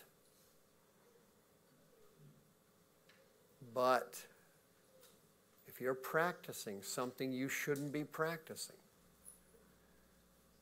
the law of sowing and reaping is going to catch up with you. And the devil is going to make a move on you. And it's going to be ugly. And the Holy Spirit's going to be very sad that you've been hurt because He loves you with divine love. And if you'll repent of it tonight, your koinonia, your fellowship, your relationship with God is going to open back up fast because He is waiting on you. He wants you to have His fellowship. He wants you to be blessed. He wants to help you. If God be for us, who can be against us? He's for you. He wants to help you. Okay? You say, Well, Brother Mike, I'm not ready to change yet. Okay, I understand that. I've seen it a thousand times, of course. Hey, when you're ready to change, we will be here for you. We're going to be here for you. We, we will stay here and pray with you. We will help you when you're ready. Okay? But on Friday nights, what I'm interested in is the people that are ready. That's what I'm looking for. Because the Holy Ghost is always ready. He's always ready to go. In Jesus' holy name. Father God, my friends are here tonight, and they came to hear the teaching about being friends with God. I know you love I know you care. And I thank you for it from the bottom of my heart. And I know tonight is healing night. Tonight, the devil has to take his filthy hands off of your children, the ones who are now ready to change and repent. They will be set free. I know it. And I'll go home happy because you helped them and I thank you for it. Hmm? Now, if you got koinonia problems, just come on up here. I want to talk to you for a minute. Just come here and stand here, facing me. You got a koinonia problem, and you know what it is. Something's blocking your relationship with God, and you're practicing something that you shouldn't be practicing, and you know it. You know what it is. Trust me, God wants to forgive you and He wants to heal you. Come forward, and I'm going to close the service. If you've got relationship problems with God, wait here for a second for you. You know that the synapse, the, the gap, there's a gap there. Right? And you're willing to confess it, whatever it is, and repent of it. Come on forward, just close your eyes there. The lights are turned down YouTube because of privacy issues. We turn the lights down so no one can see what's happening, so people can have a little privacy. And your relationship with God is kind of plugged. And you're repetitively practicing something that's grieving the Spirit and giving the devil legal rights to take a pot shot at you. The devil is looking at you going, hey, I got a legal access to that Christian. And I hate their guts. I hate her guts. I hate his guts. And they're giving me access to them, so I'm not going to take it. Yeah, the, the demons are smart. They're opportunists. And they take advantage of everything we do. And they watch you and they follow you all day. They follow you at night. Lord, I'll dismiss the service now. And those of you who have to leave, remember the offering boxes on the doors. Thank you for coming tonight. And I love you. And I'll see you next week for the seminar, Satan's Secrets. You're, gonna, you're not going to believe some of this material. It's going to cause quite a controversy next week, but so what? You're dismissed if you need to leave. God bless you. My ministry team's going to come forward now and help me pray real quickly. I got my people up here that are looking for the Holy Ghost. Thank God.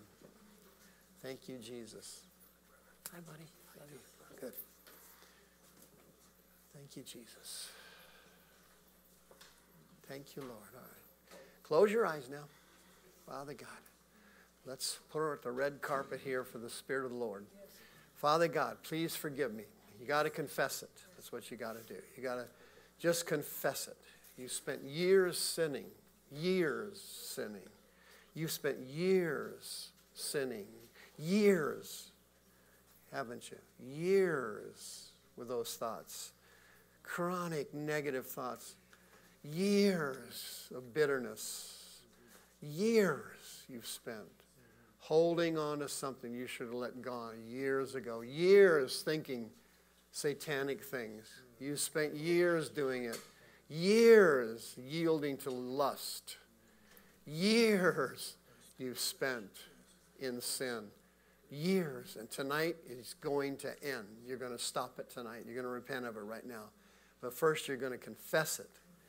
You're going to confess it tonight. Yes, all the porn and all the lust, all the lies. You're going to confess it right now. Father God, please forgive me. I'm ready to change. I'm ready to repent. I'm ready to do it now all the perversion, the thoughts of negativity, the lies, all of it, the bad relationships. Lord Jesus, I'm so sorry. The self hatred, all of it, the negative thoughts, I'm repenting of it right now in the name of Jesus. All the horrible lust, all of it right now. I repent of it right now in the name of Jesus. Come on, I repent of it right now in the name of Jesus. I am so sorry, Lord. Have mercy on me right now. Have mercy on me right now. Come on, just speak it out. Come on, sweetie. I'm saying it. I'm so sorry. Say it. Thank you, Jesus. That a girl. Say it. If you'll if you'll speak it out, that's what the Bible says. Come out. Come out of there. Come out right now. Come out quickly. Just confess it. If you won't confess it, you're not going to get that thing out of there. Come on, just confess it. You have to confess it. Say it. You have to confess it. Come on, sweetheart. Just confess it. Lord Jesus, I did this, I did that, I said this, I said that. I'm so sorry. Tell him you're sorry. He's listening to you, he's watching you. He's standing right in front of you. The Holy Ghost standing right in front of you. There he is, right there. Spirit, come out of her right now. Come on out. Come out right now. Come out right now. Come out of there right now. All the self condemnation, all the people saying negative things about you. Constantly criticizing you. Come out in Jesus' mighty name. Get out of there. Drugs. Come out of there right now. Self hatred. People betrayed me. People let me go.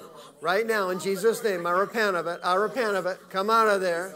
Come out right now. I'm sorry, Lord. Say it.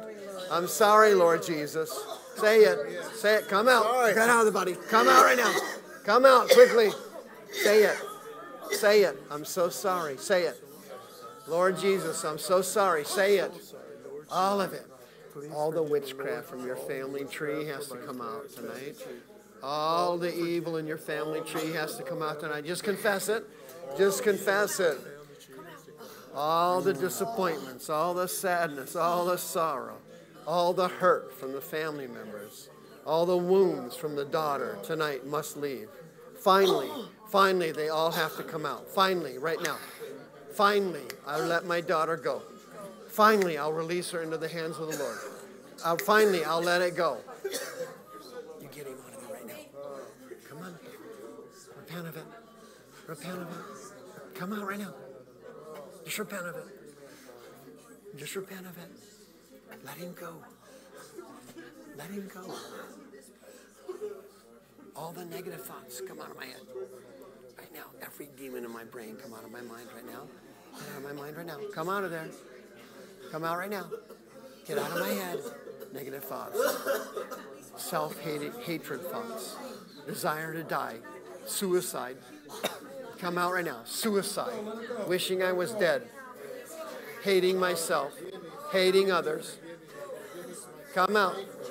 Quitting. Giving up. Cowardice. Quitting. Giving up. Quitting. Quitting before I'm done. Giving up before I'm done. Getting discouraged. Come out. Being discouraged. Come out of there. Come on out. Come on out. Come on out. Come out right now. Come out of me. Come out right now. Go, Satan.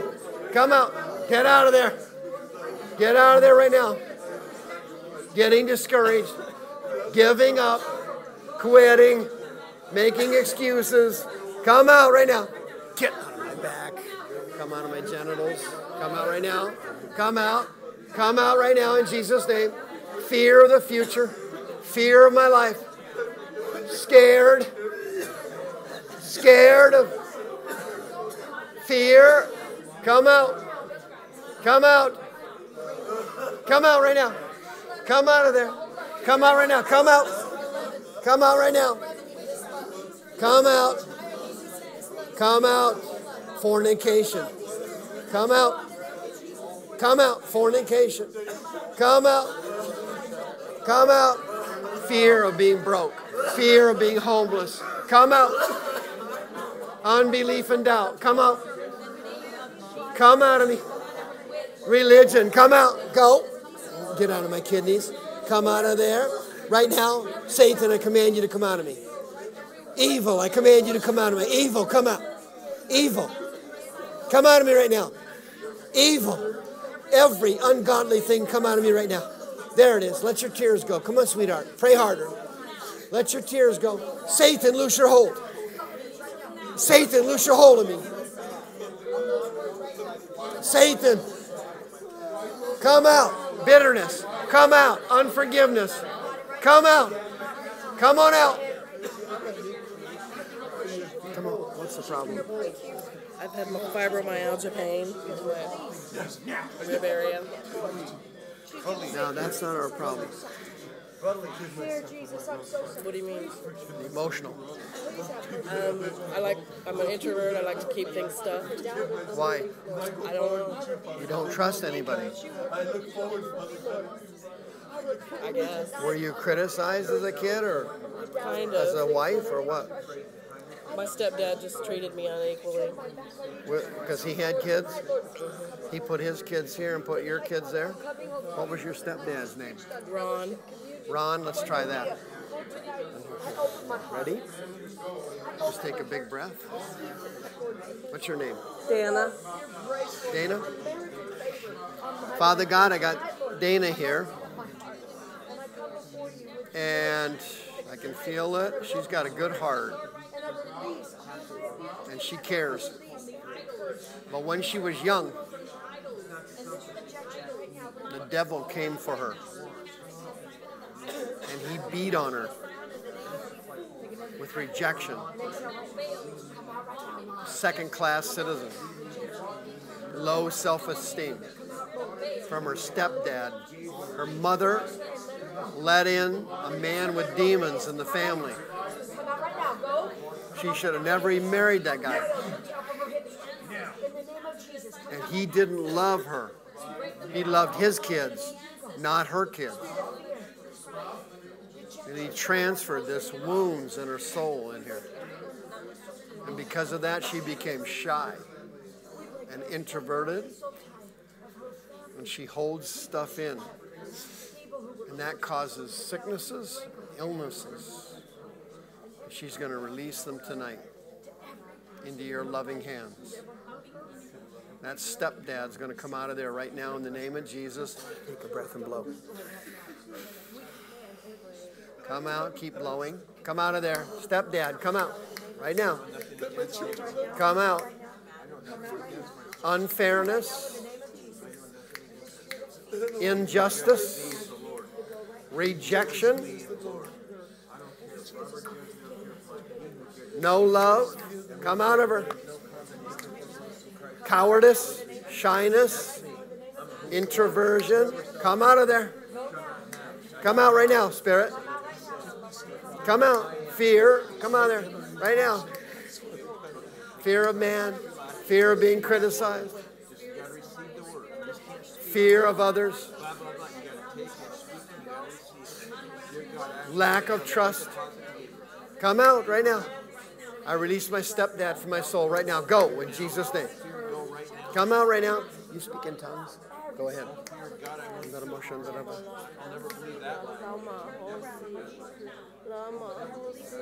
Louder. At a girl. Thank you. Louder. Good. Go. Come out. Holy Ghost, come on her. Holy Spirit, touch. Good. Holy Spirit, touch. Go.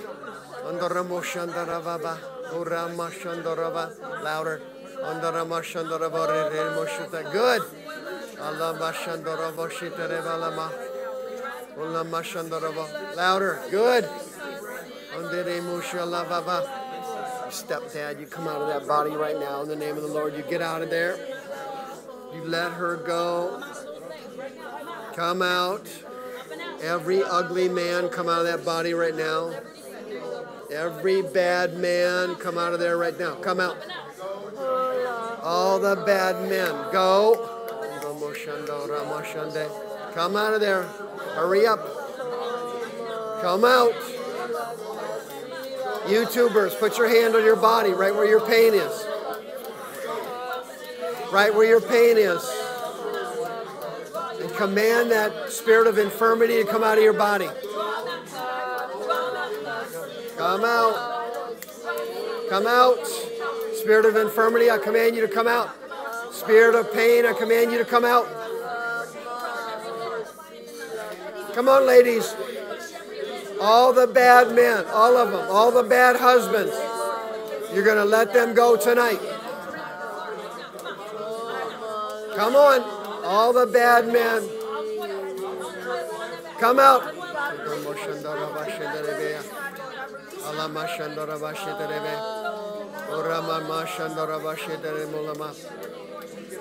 Every bad man. Come on, ladies. I release them. All my boyfriends, all my fiancés, out. Out. All my insecurities. All the low self esteem. Come out. There it comes. The demon of food. Come, come out of there. Go. Come out. Come out. Get out. You killer, you cold blooded killer. You're trying to kill him with food. Come out. Diabetes. Come out. Go. Insecurity. Go. Self hatred. Go. Self hatred. Disappointments. Go. Go. Okay, take a breath and blow. Ready? Blow. Come out. Keep blowing. Come out right now. All my boyfriends, every one of them, go. Come out. Come out of me. Come out of me. Everybody that used me. Come out right now. Come out of there. Breathe. Come out. Come out. Leave me now. Leave me now. Go.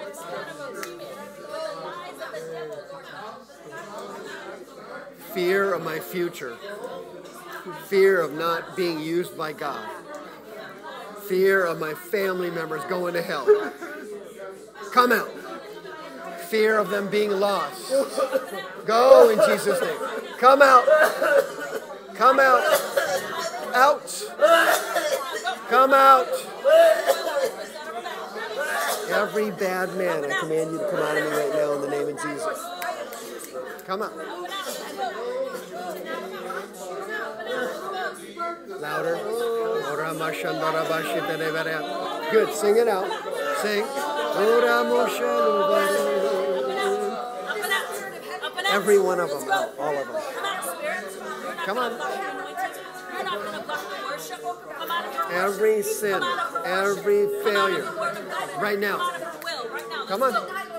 Out. Come out. Go. Get out. Come out. Satan, loose your hold. Dying of a heart attack. Come out right now. Come out. Heart attack. Come out of there. Satan, loose me right now. Let me go. Let me go right this second. Let me go now. Lord, forgive me. Heal me. Forgive me, Lord. Heal me. So sorry. Lord Jesus, I'm so sorry. Lord, have mercy on me. Help me. Help me, Lord. Help me, Lord. Every spirit from Kundalini and churches and prophetic movement, I bind your power. Church demons, come out of there right now. Come out. Kundalini, come out of there. Come out of her throat. Come out right now. Out. Come out of there. Come out. Come out. Laying on of hands, spirits transferred in. Come out of that body right now. Every spirit from church, go. Come out. Every spirit from church, get out of that body. Come out of that body.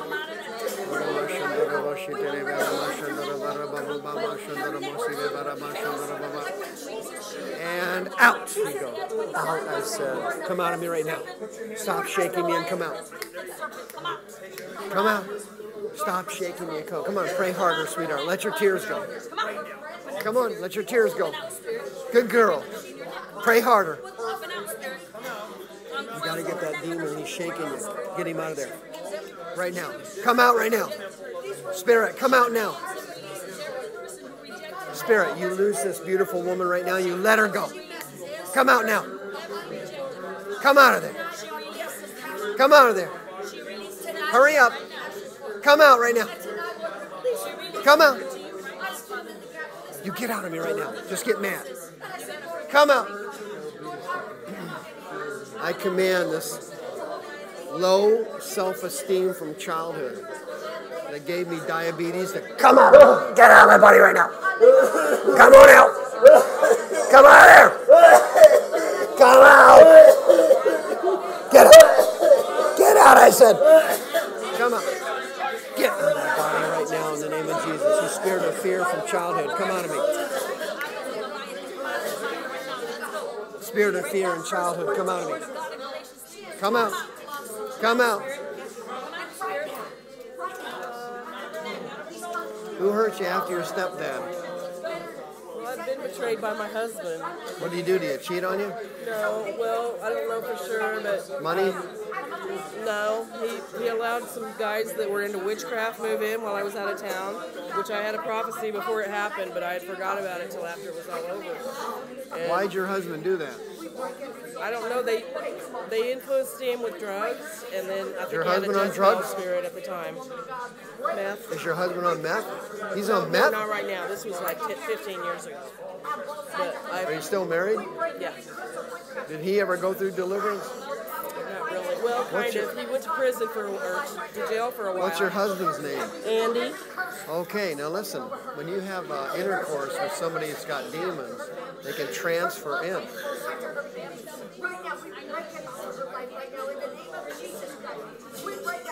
See, the Lord delivered him when he was in county jail, How'd you get delivered? Just from the Lord coming up on him, and he got saved while he was in jail. And Yeah, but did he get the demons didn't come out, did they? I don't, I don't know. He still has anger issues. Well, then that's kind of obvious. He's still infected and alcohol. His name's Andy. Mm-hmm. Okay. Now, ready? All right. Lord Jesus, please help this beautiful woman. She doesn't understand how spirits transfer. Andy is sick. The demons told him to let that witch in the house. The demons told him to take meth. The demons infected him in prison. He got saved, but he never got delivered. And right now, Andy needs to leave his wife right now and come out. We place Andy in your loving hands, Lord, and we give him to you. He's still got spirits, anger, alcohol, God only knows what. Andy, it's time for you to leave your wife tonight. Come out of there. Andy, come out. Come out. Andy, prison demons, spirits of meth, drugs, pornography, lust, witchcraft. Come out. Andy, come out. Andy, come out. Right now. Come out. I want my husband's demons out of me, Lord. I want them out now. I want my husband delivered and healed. I have to get healed first. What's in there, hon? What's in here? Addiction. You addicted to what? Just the lifestyle. I just got out of rehab, 90 days. Oh, okay. Now, who hurt you when you were little? Lots of people. Who was the first one, the bad one? Was it verbal or physical? She was, a meth so she just. Oh, she was? What's her name? Esther. Esther? Okay, that's it. Now, what happened was the spirits from your mother transferred in here. They transferred and got you Come out! Come out! when you were little. All we have to do is release your mother tonight and let her go. There, there she comes. There she is, right there. Esther, come out. Esther, come out of your daughter right now. Leave. Every wicked spirit from Esther, come out. Come out right now. Go. Here it comes. Come out. Leave your daughter. Esther's demons that turned her daughter into an addict. Come out. Come out. Come out of her throat right now. All the spirits from rehab, come out. Methamphetamine, come out. Esther, Esther, come out. I let my mother go now. I release her to the Lord. Mother, come out of me. Mother, come out. Go. Come out, Esther. Come out there. Esther, come out. Jesus. Release her right now. Every spirit from the rehab center, come out of me. Right now. Come out right now. Every spirit from rehab. Tonight, I get Holy Ghost rehab. That's all I want. Rehab center demons, come out. Right now. Go. Sadness and sorrow, come out of me. Grief and misery and fear of the future, come out. I want my husband out of me right now. Go now. Come out right now. Come out. Come out. Come out Come out. Of me. I forgive my mother for the horror she put me through. And I release her from my soul right now. Right now. Out. Esther, come out of there right now in the name of Jesus. We forgive you and we release you. Come out. Release her right now. Esther, come out. Esther, come out. There he is. It's coming up right now. There he is. Get out. There it is. Keep coughing. Come out right now. That's him. Keep coughing. Come out. Come out. Keep coughing. Come out more. Demon of death, go. Demon of death, go. Did you repent? Can you help There's a guy, yeah, there's a guy here who's first time here and he needs to get delivered of porn and masturbation. So I Oh. think he is a man. Yeah. He needs you to pray for There's a gal over here that His need your mom help didn't with. want him. Hmm? His mom didn't want him. The guy I was talking to who's, who's masturbating. Is it got bald headed guy? Yeah, it's really really nice. Man of Yeah. God. Come. Oh, she's already got a bucket. Okay. Esther's her mother. Oh, You're not done. Come on. Keep going. Come on. You're not done. Hold that. Come out right now. Come out. Come out. You're standing around. Hey, listen. Um, who hurt you when you was a kid? Who hurt me? Yeah, real bad. Who hurt you when you were young?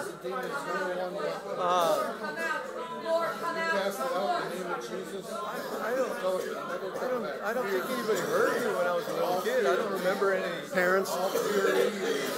Well, what what uh, what I told the, what I told the other lady, if you're talking about that, is that uh, I didn't know that uh, I, I I had a, a spirit or demon or whatever come out of me.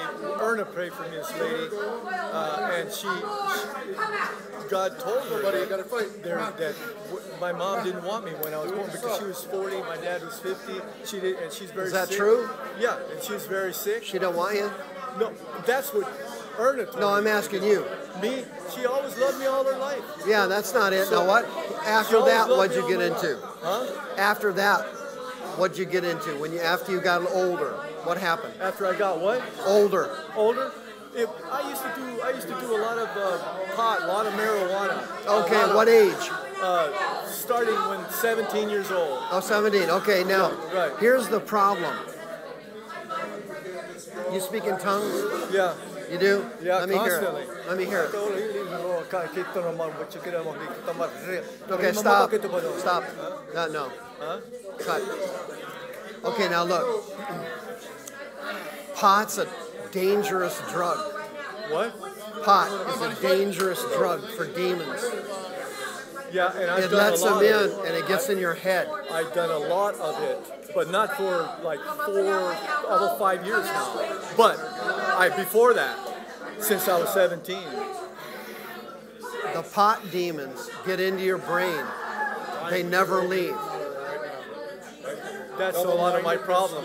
Yes. That's a lot of my problem. And that's and they're ruining your tongues. All They're ruining my tongue. Yes. They're in your brain. Okay. They're extremely smart. Pot demons are smart. They get into the person's brain Okay. and they cause what I what I was teaching on tonight, a blockage. Right. Koinonia. Yeah, They sever it. There's I, a- I want a closeness with the, with the Lord. Yeah, because you got a good heart. Yeah, He's already called me. Uh, he's already. Oh, he likes you. There's you no know, I problem mean, with God and you. He called me to serve Him already. I know he likes you, but I, I, well, I'm listening to you and I'm understanding you. yeah, Yeah, and I know it's serious. you're you're a very loved person. There's nothing wrong with that, and there's no problem here. Yeah. The 17, when you were 17, you made a tragic mistake, Yeah. and they tricked you. Okay, so let's try a couple things. Okay, pot cases are tough. Okay. Okay, now you just repeat after me. Borraba, Borraba. kendosia, Kendosia. lakaba. Lakaba. Now, did you notice that I was uh, speaking in short syllables? Yeah. Did you notice that I was uh, speaking in a normal language? Like I would speak English. Yeah. You have noticed that? Did you notice that your tongues were not normal language that you would speak? Huh? It's not a no. Did you notice that your tongues were not a normal language that you would speak? It sounds different than you speaking it to me in English. Did you notice that? I'm not sure if I understand. Uh, did, did, Um, did I did I sound did I sound like I You was sounded saying- totally different totally different than what than you the were way you. saying? s- No, Uh, what? Okay. Oh, the way you talk. yeah. I'm listening to you right now in yeah, The way English. Talk in English. Yeah. Yeah. Did you notice that your tongues was totally different in tone and pace and style than how you talk in English? You notice that? No. Try it. Try talking in tongues. Ole kamre, tupa o ai kale ni o mariti i mo mo mai i ka awale hi tupa o mai i kale i lo watching ki tupa o ai ki tupa o mai i Now notice how choppy it is. Notice how choppy it is. Yeah. Chop, chop, chop, chop, chop. Yeah. Yeah, now notice that. Yeah, I do. I Yeah. do. Notice how mine was flowing smoother. Notice the flowing smooth, and you're going tak tuk tak tuk tak tuk tak di mu tak. See the difference? Yeah. Now let's try it again. You follow me, Okay. okay? Doshava. Joshava. Boramashi. Olamashi. Bakolama. Bakolama. Bolabashanda. Bole masama. Balabaseda. Bala mashana. How'd that sound?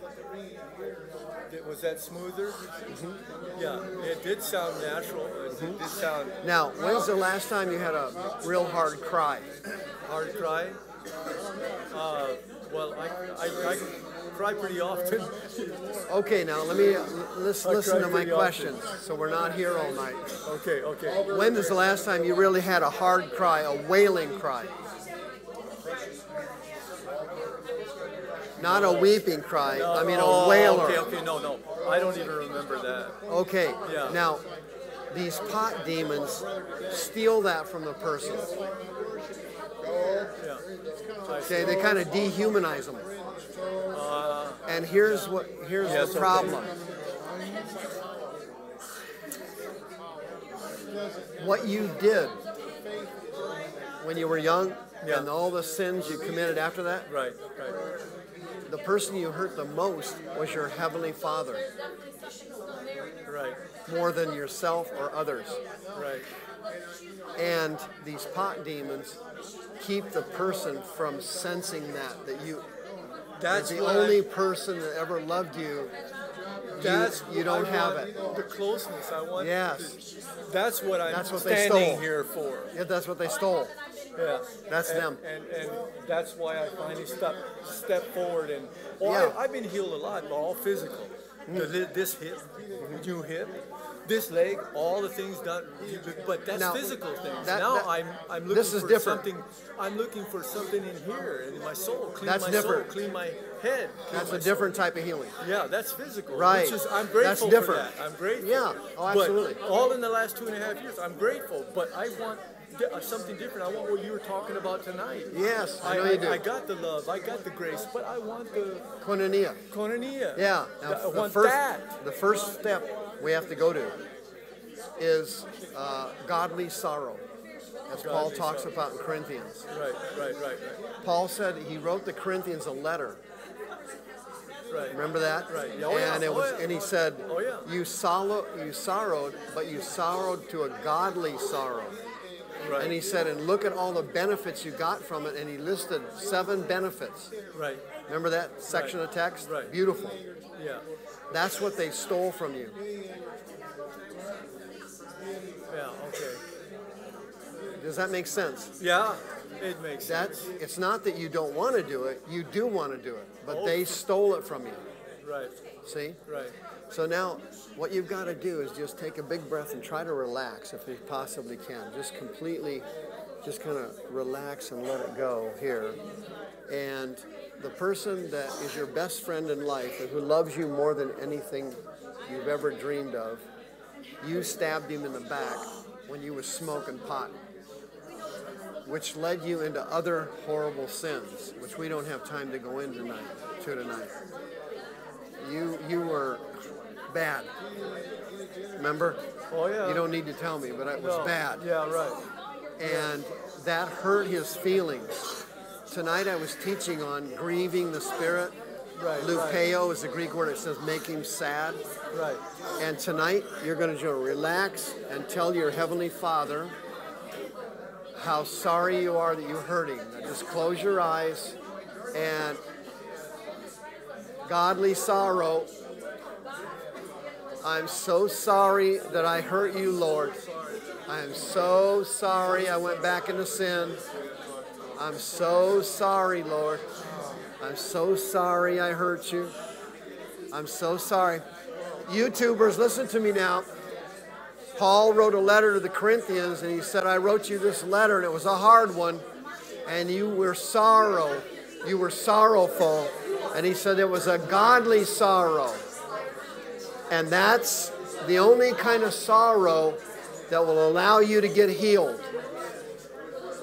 You can be sorrow, you can be have sorrow over being caught, you can have sorrow over making a mistake, you can have sorrow over being sick, you can have sorrow over something you did and you got caught. You can have sorrow, but that kind of sorrow is not going to do you any good. You must have godly sorrow that what you did hurt your Heavenly Father. You hurt Him. You grieved the Holy Spirit when you sinned.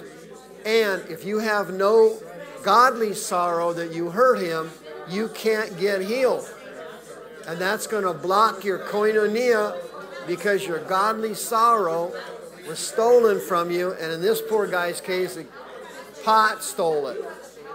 Pot stole it in this poor gentleman's case. Right now, Lord Jesus, I ask you to send your children godly sorrow, godly sorrow for their sin and for hurting you. They hurt you. When they sin, when we sin, we hurt you. We hurt your feelings. We made you sad. And tonight, I'm asking you to receive the anointing of godly sorrow. Sorrow that you hurt your Heavenly Father. Not sorrow that you got caught, not sorrow the business failed, not sorrow the divorce. The sorrow is involving the pain you caused your Heavenly Father. That's why nothing changes for you. You're sorry you're hurting and you're sorry everything's screwed up, but you're not sorry you hurt your Heavenly Father or you grieved the Spirit. Lupeo is the Greek word. You made him sad. And that's why your spiritual life is stuck. And you're going to repent of it right now. Father God, I repent in the mighty name of Jesus Christ. I repent of not having godly sorrow, of not feeling bad for hurting you. I am so sorry, Lord, I hurt you. I'm so sorry I sinned because, not because it was wrong, but because I hurt you.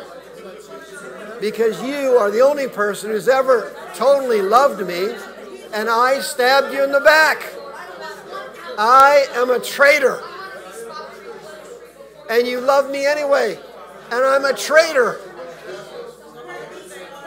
Right now, in the, G- in the name of Jesus, receive godly sorrow for what you've done. Godly sorrow. Come down now in Jesus' mighty name. How's she doing? She's um she's okay. She stopped. She doesn't like the feeling of throwing up. Thank you for your Hey, listen. These are drug demons. They hide down here in this area, and the fear demons usually hide up here. Okay, and and and when you got molested, these spirits got into your body, and they're hiding right in here. Did you see you jump when I touched you there? Now you have to get them out of there, and sometimes they come out through vomiting, or sometimes they come out through coughing, or different ways. It doesn't matter how they come out. Just go with it, and get them out of there. Because if you don't get those spirits out of there, you're going to relapse. Now, right now, in the name of Jesus, you command every drug spirit, every spirit from your mother, every child molestation spirit to come out of you right now, no matter what happens. You come out of you, come out of me now, no matter what. Come out of me now, no matter what. I am not going to relapse. I'm not going to end up in jail. Come out now in Jesus' name. Come out of me now in Jesus' mighty name. Here they come. Come on, here it comes. Hold that. Come on, get him out of there, sweetie. Come on, sweetheart. There it is. Keep coughing. Come out. Come out. Keep going. Fight harder. Fight harder. Father God, I'm sorry I hurt you. Father God, I'm sorry I stabbed you in the back. I'm sorry I smoked pot. I'm sorry, sorry I was on dope. I'm sorry I committed adultery. I'm sorry I slept with men who had demons. I'm sorry I went to prostitutes and whores. I'm sorry I got oral sex. I'm sorry I opened the door to demons. God have mercy because I hurt you. And I'm so sorry. I'm so sorry, Lord. Please forgive me. Thus saith the Lord, Thou shalt not keep coughing, keep coughing, don't stop. Come on, put your hand down. Keep coughing. Come on, sweetheart. Devils, come out. Come on, ladies. Every ugly man you slept with that had demons, you picked up a transfer, a perversion. You got to get them things out of there. Even if you're married. Married doesn't remove demons. Are you crazy? Come out! Well, I'm married. I'm this. It doesn't matter whether you're married or not. Demons like to infect people that are married. They don't care if you're married. Satan, in the name of Jesus Christ, get out of my body. Come out right now. Drugs, pot, meth. Get out. Lady over got a massive healing just now. Oh, she did. What happened to her? She said she had all this pain in her body and just left. Oh, here.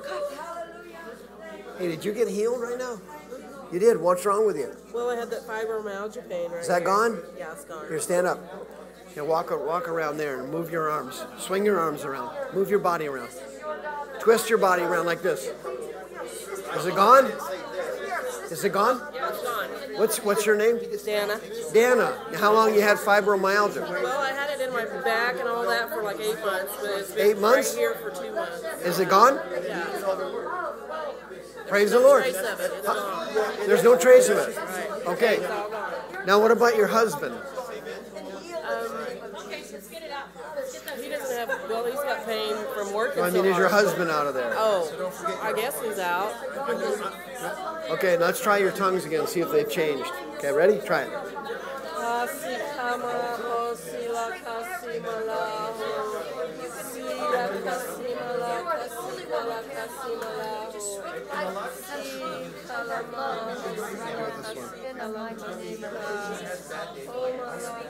Okay, stop. And just repeat after me, okay? Boraba, Robra Kemosa, Kemosa. Bakaba, Bakaba Andoria, Andre Ulamasive, Yeshotaba. Yashidaba Now, did you happen to notice that uh, you were repeating me, you weren't having any trouble? Yeah. Did you happen to notice that uh, I was speaking uh, smoothly and yours is choppy? Click, click, click. Did you happen to notice that difference? Yeah I just thought it was because it was a different language No. Um, there's something blocking the flow of it. Okay? So this time, let's try it again. Only you follow me, and then you just kind of add some syllables on your own, but make the flow better. Instead of the choppy chak chak chak chak chak chak. Ready?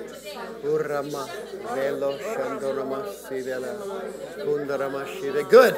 Kundarama shivela ba kutorama shandarama sire. Vela valama shandarama sire.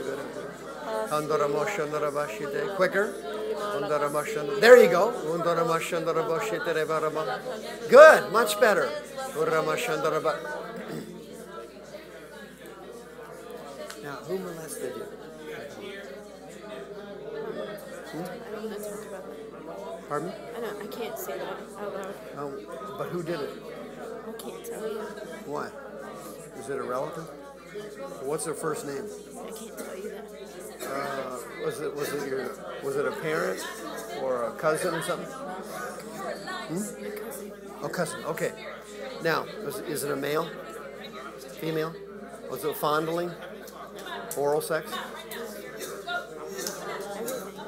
Oh, was everything? Okay, ready? Now, when she did that to you, when she did that to you, a spirit transferred in there from her. Can you hear me? A spirit from her transferred in there. Okay? And you can get him out right now. Okay? Now, have you forgiven her for doing it? Have you? Do you have any bad feelings about her? Do you have any bad feelings about her when you think about it? Okay, that the Bible calls that ought. Okay, so just pray after me now. Lord Jesus, please forgive me for having ought for my cousin who molested me. Please forgive me, and please forgive me for having negative feelings about her and resentments. Please forgive me. I want my cousin's spirits out of me tonight so I can be free.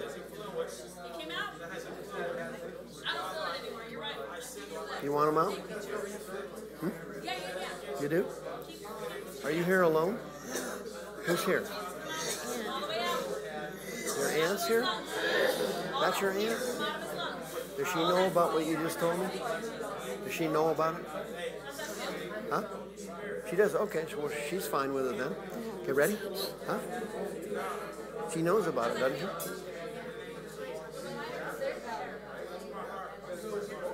Uh, hey, would you be willing to come in for a counseling appointment? Huh? Yeah. Okay. Now, uh, hey, would you mind getting one of my cards and give it to her? Yeah. My business cards? Yeah, yeah. Thank you. Oh, you got one? Okay, she's got, hey, stop. I'm sorry, she's got one. Hey, will you call me tonight? What's your name? Leah. Leanne? Okay, I'll talk to you soon, okay? I'll, I'll, I, this, this is all fixable.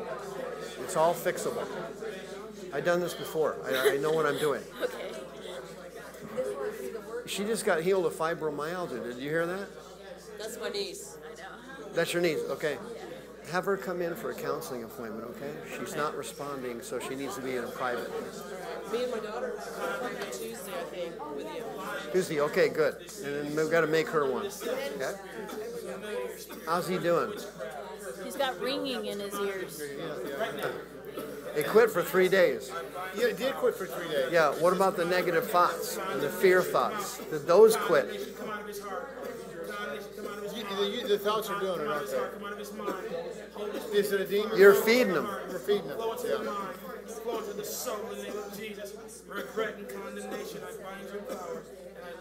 You can't get a spirit out that you're feeding. Correct? Right. You know, I'm working hard. I'm working, hard. I know you are. Yeah. But these thoughts that come into your head, what are they? What's the worst one? Uh, well, I'll tell you a thought. Uh, What's the worst thought? the worst thought, uh, you wasted your money. Wasted your money? School, you wasted your money, you know. All right, now, I mean, I'm just saying that's one. now that's one thought, right? Now, what's a good scripture for that? My God shall supply all my needs according to his riches and glory by Christ Jesus. I have an abundance and no lack thereof. Okay, now- It'll be given to me, pressed down, shaken together, running over, men will give them. Okay, now, uh, he's in worse shape than I thought. So he's quoting scripture, but still listening to demons. Now we're in big trouble. Because he knows the truth, but doesn't believe it. Now, are you telling me that God can't restore a human being's finances? Yes, he can. That's ridiculous. I'm starting a new job on Monday. Well, see what I mean? But that thought is being put in your head. They would only do that for a reason. Why are they doing it? Discourage me. And it's working. Why are they putting it in there? Because it works. They don't do stuff that doesn't work. For example, they don't you don't have a thought about why don't you open up a flower shop? They're not going to tell you to open up a flower shop. That's not going to work.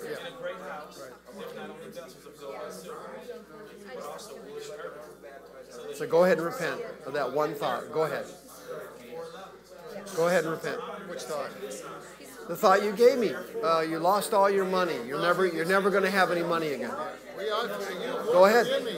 What? Yes, Lord, forgive me. I'm asking Father. I'm repenting of it. I mean, I, I will prosper. I'm prosperous. I'm prosperous in Jesus' name. What's the next bad thought? Poverty, poverty has no authority over my life. It doesn't. Amen. Now what's the next thought? Uh,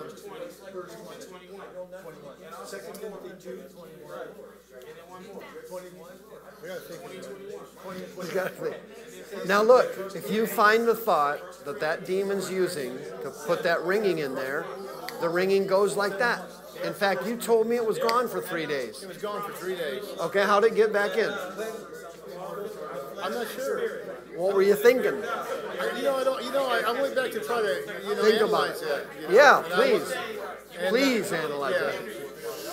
Please But analyze you know, it. it's like I can have some really good days. Feeling better? Oh yeah. Yeah, I'm feeling Then what happens? You know what it is? It's it's uh, it's looking in the rearview mirror. I got to I got Uh, to re- you mean like, are you trying to say it's regrets? yes. Of course it is. Put my hand in the plow and I got to move forward. You know. Yeah, but regrets, they use them on everybody. I mean that's the, that's really it. It's, it's the regrets. It's like Yeah, go ahead and repent of them. You can't have regrets or you're not going to get that ringing out of your ears. You can't live in with regrets, they'll kill you. You got to repent of it and get rid of them. You have to look forward by faith. And like Paul said, I forget those things that are behind me and I reach for those things that are before me. My, my, my good friend in Indiana. He got so tired of hearing you talking on the phone one time.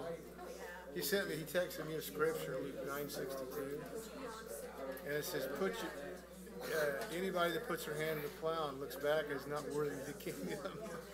Okay, well, that's true, but that's not going to apply here. Now, look, No, these regrets over you quitting that job, the demons are always putting it in there, like the ringing in your ears. And if you receive it, the ringing stays.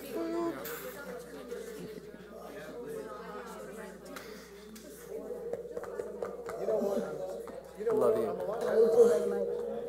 I know you're a lot better.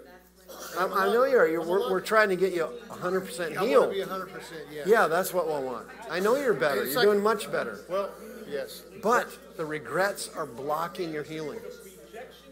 All right, YouTubers, next Friday is the seminar on Satan's secrets. Very controversial seminar. You're not going to believe some of the stuff I'm going to teach you next Friday, and you're going to send me a couple of nasty emails. That's okay. Wait till you hear this. Next Friday, 7 p.m. Pacific time, 10 p.m. Eastern on our YouTube channel, youtube.com slash House of Healing AZ. See you next time.